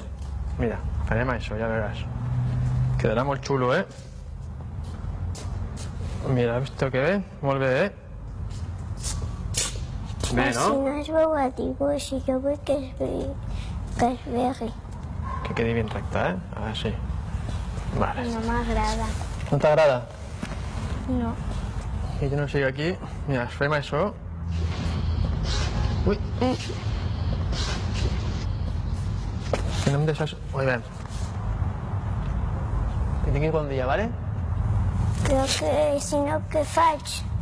Mentrestant.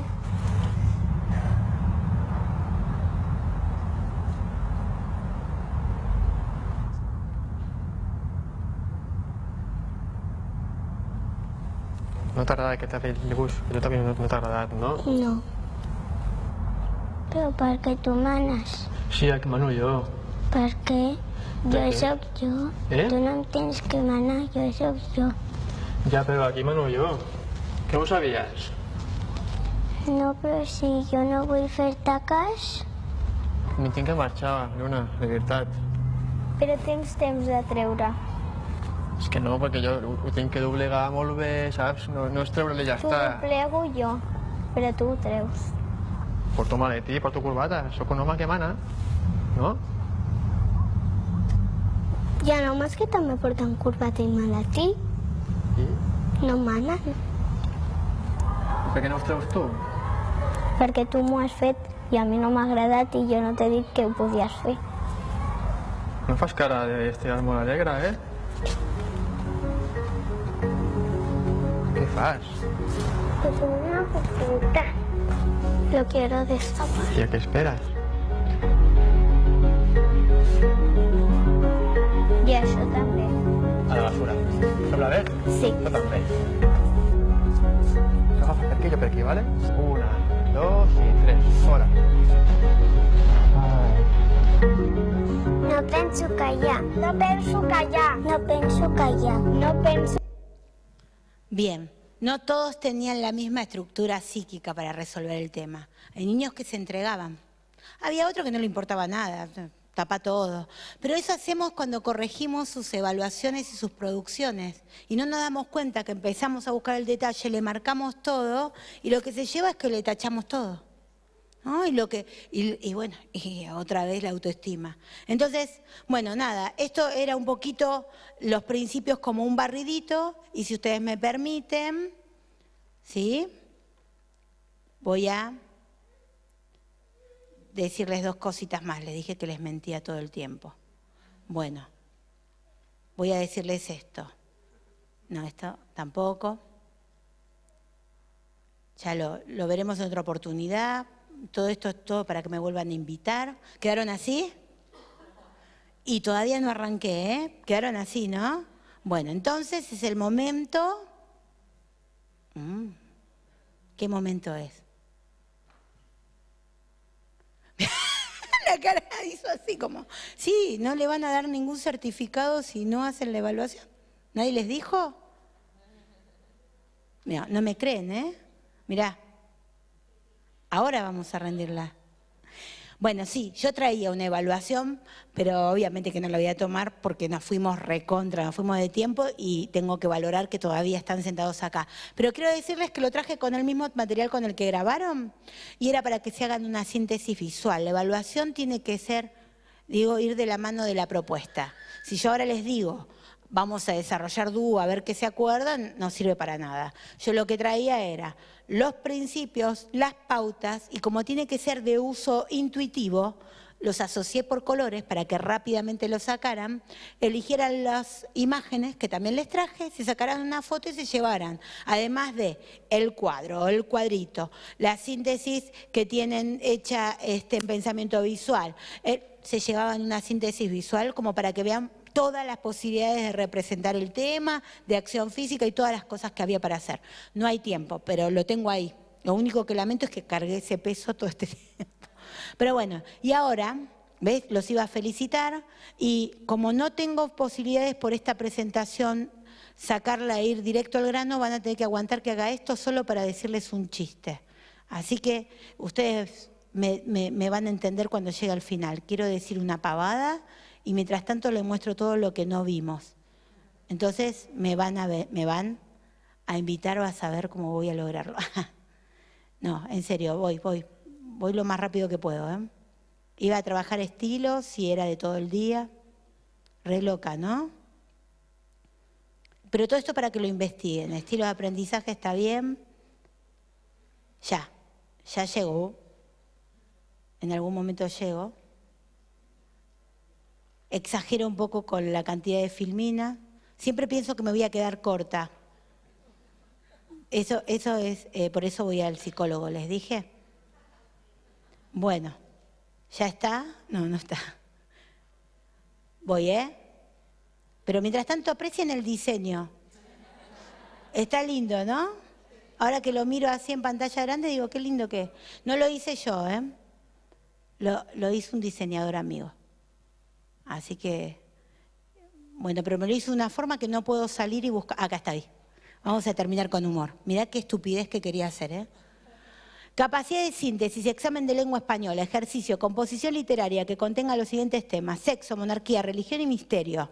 Porque es sábado le metí el sexo. ¿eh? Recomendaciones del profesor, brevedad y concisión. Respuesta de uno de los, alumnos: se violaron a la reina y Dios mío, ¿quién habrá sido?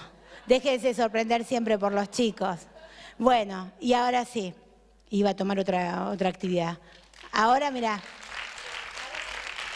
vinieron con una pregunta que es dúa y yo les abrí una puerta a un montón de preguntas. Eso es lo que tenemos que hacer en el aula, que vengan con una pregunta y llenarlos de preguntas para seguir buscando sus chicos, los chicos en sus casas.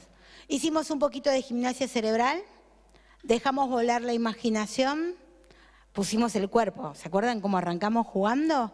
Bueno, ahora les toca a ustedes enfrentar este desafío, que está lleno, lleno de peligros, ¿eh? hay cosas que nos van a sacar de nuestra zona de confort, pero como dije hoy temprano, hay más oportunidades, ¿sí? Más oportunidades de crecer nosotros, en este caso profesionalmente. Ahora sí.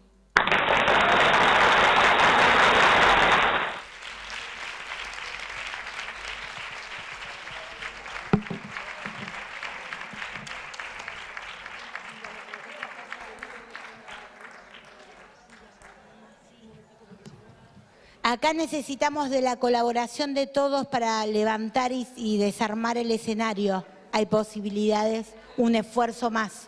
Y los que si se quedaron con una bolsita mía me la devuelven o la hojita amarilla me la devuelven y nada más. Es todo lo que quiero que me devuelvan.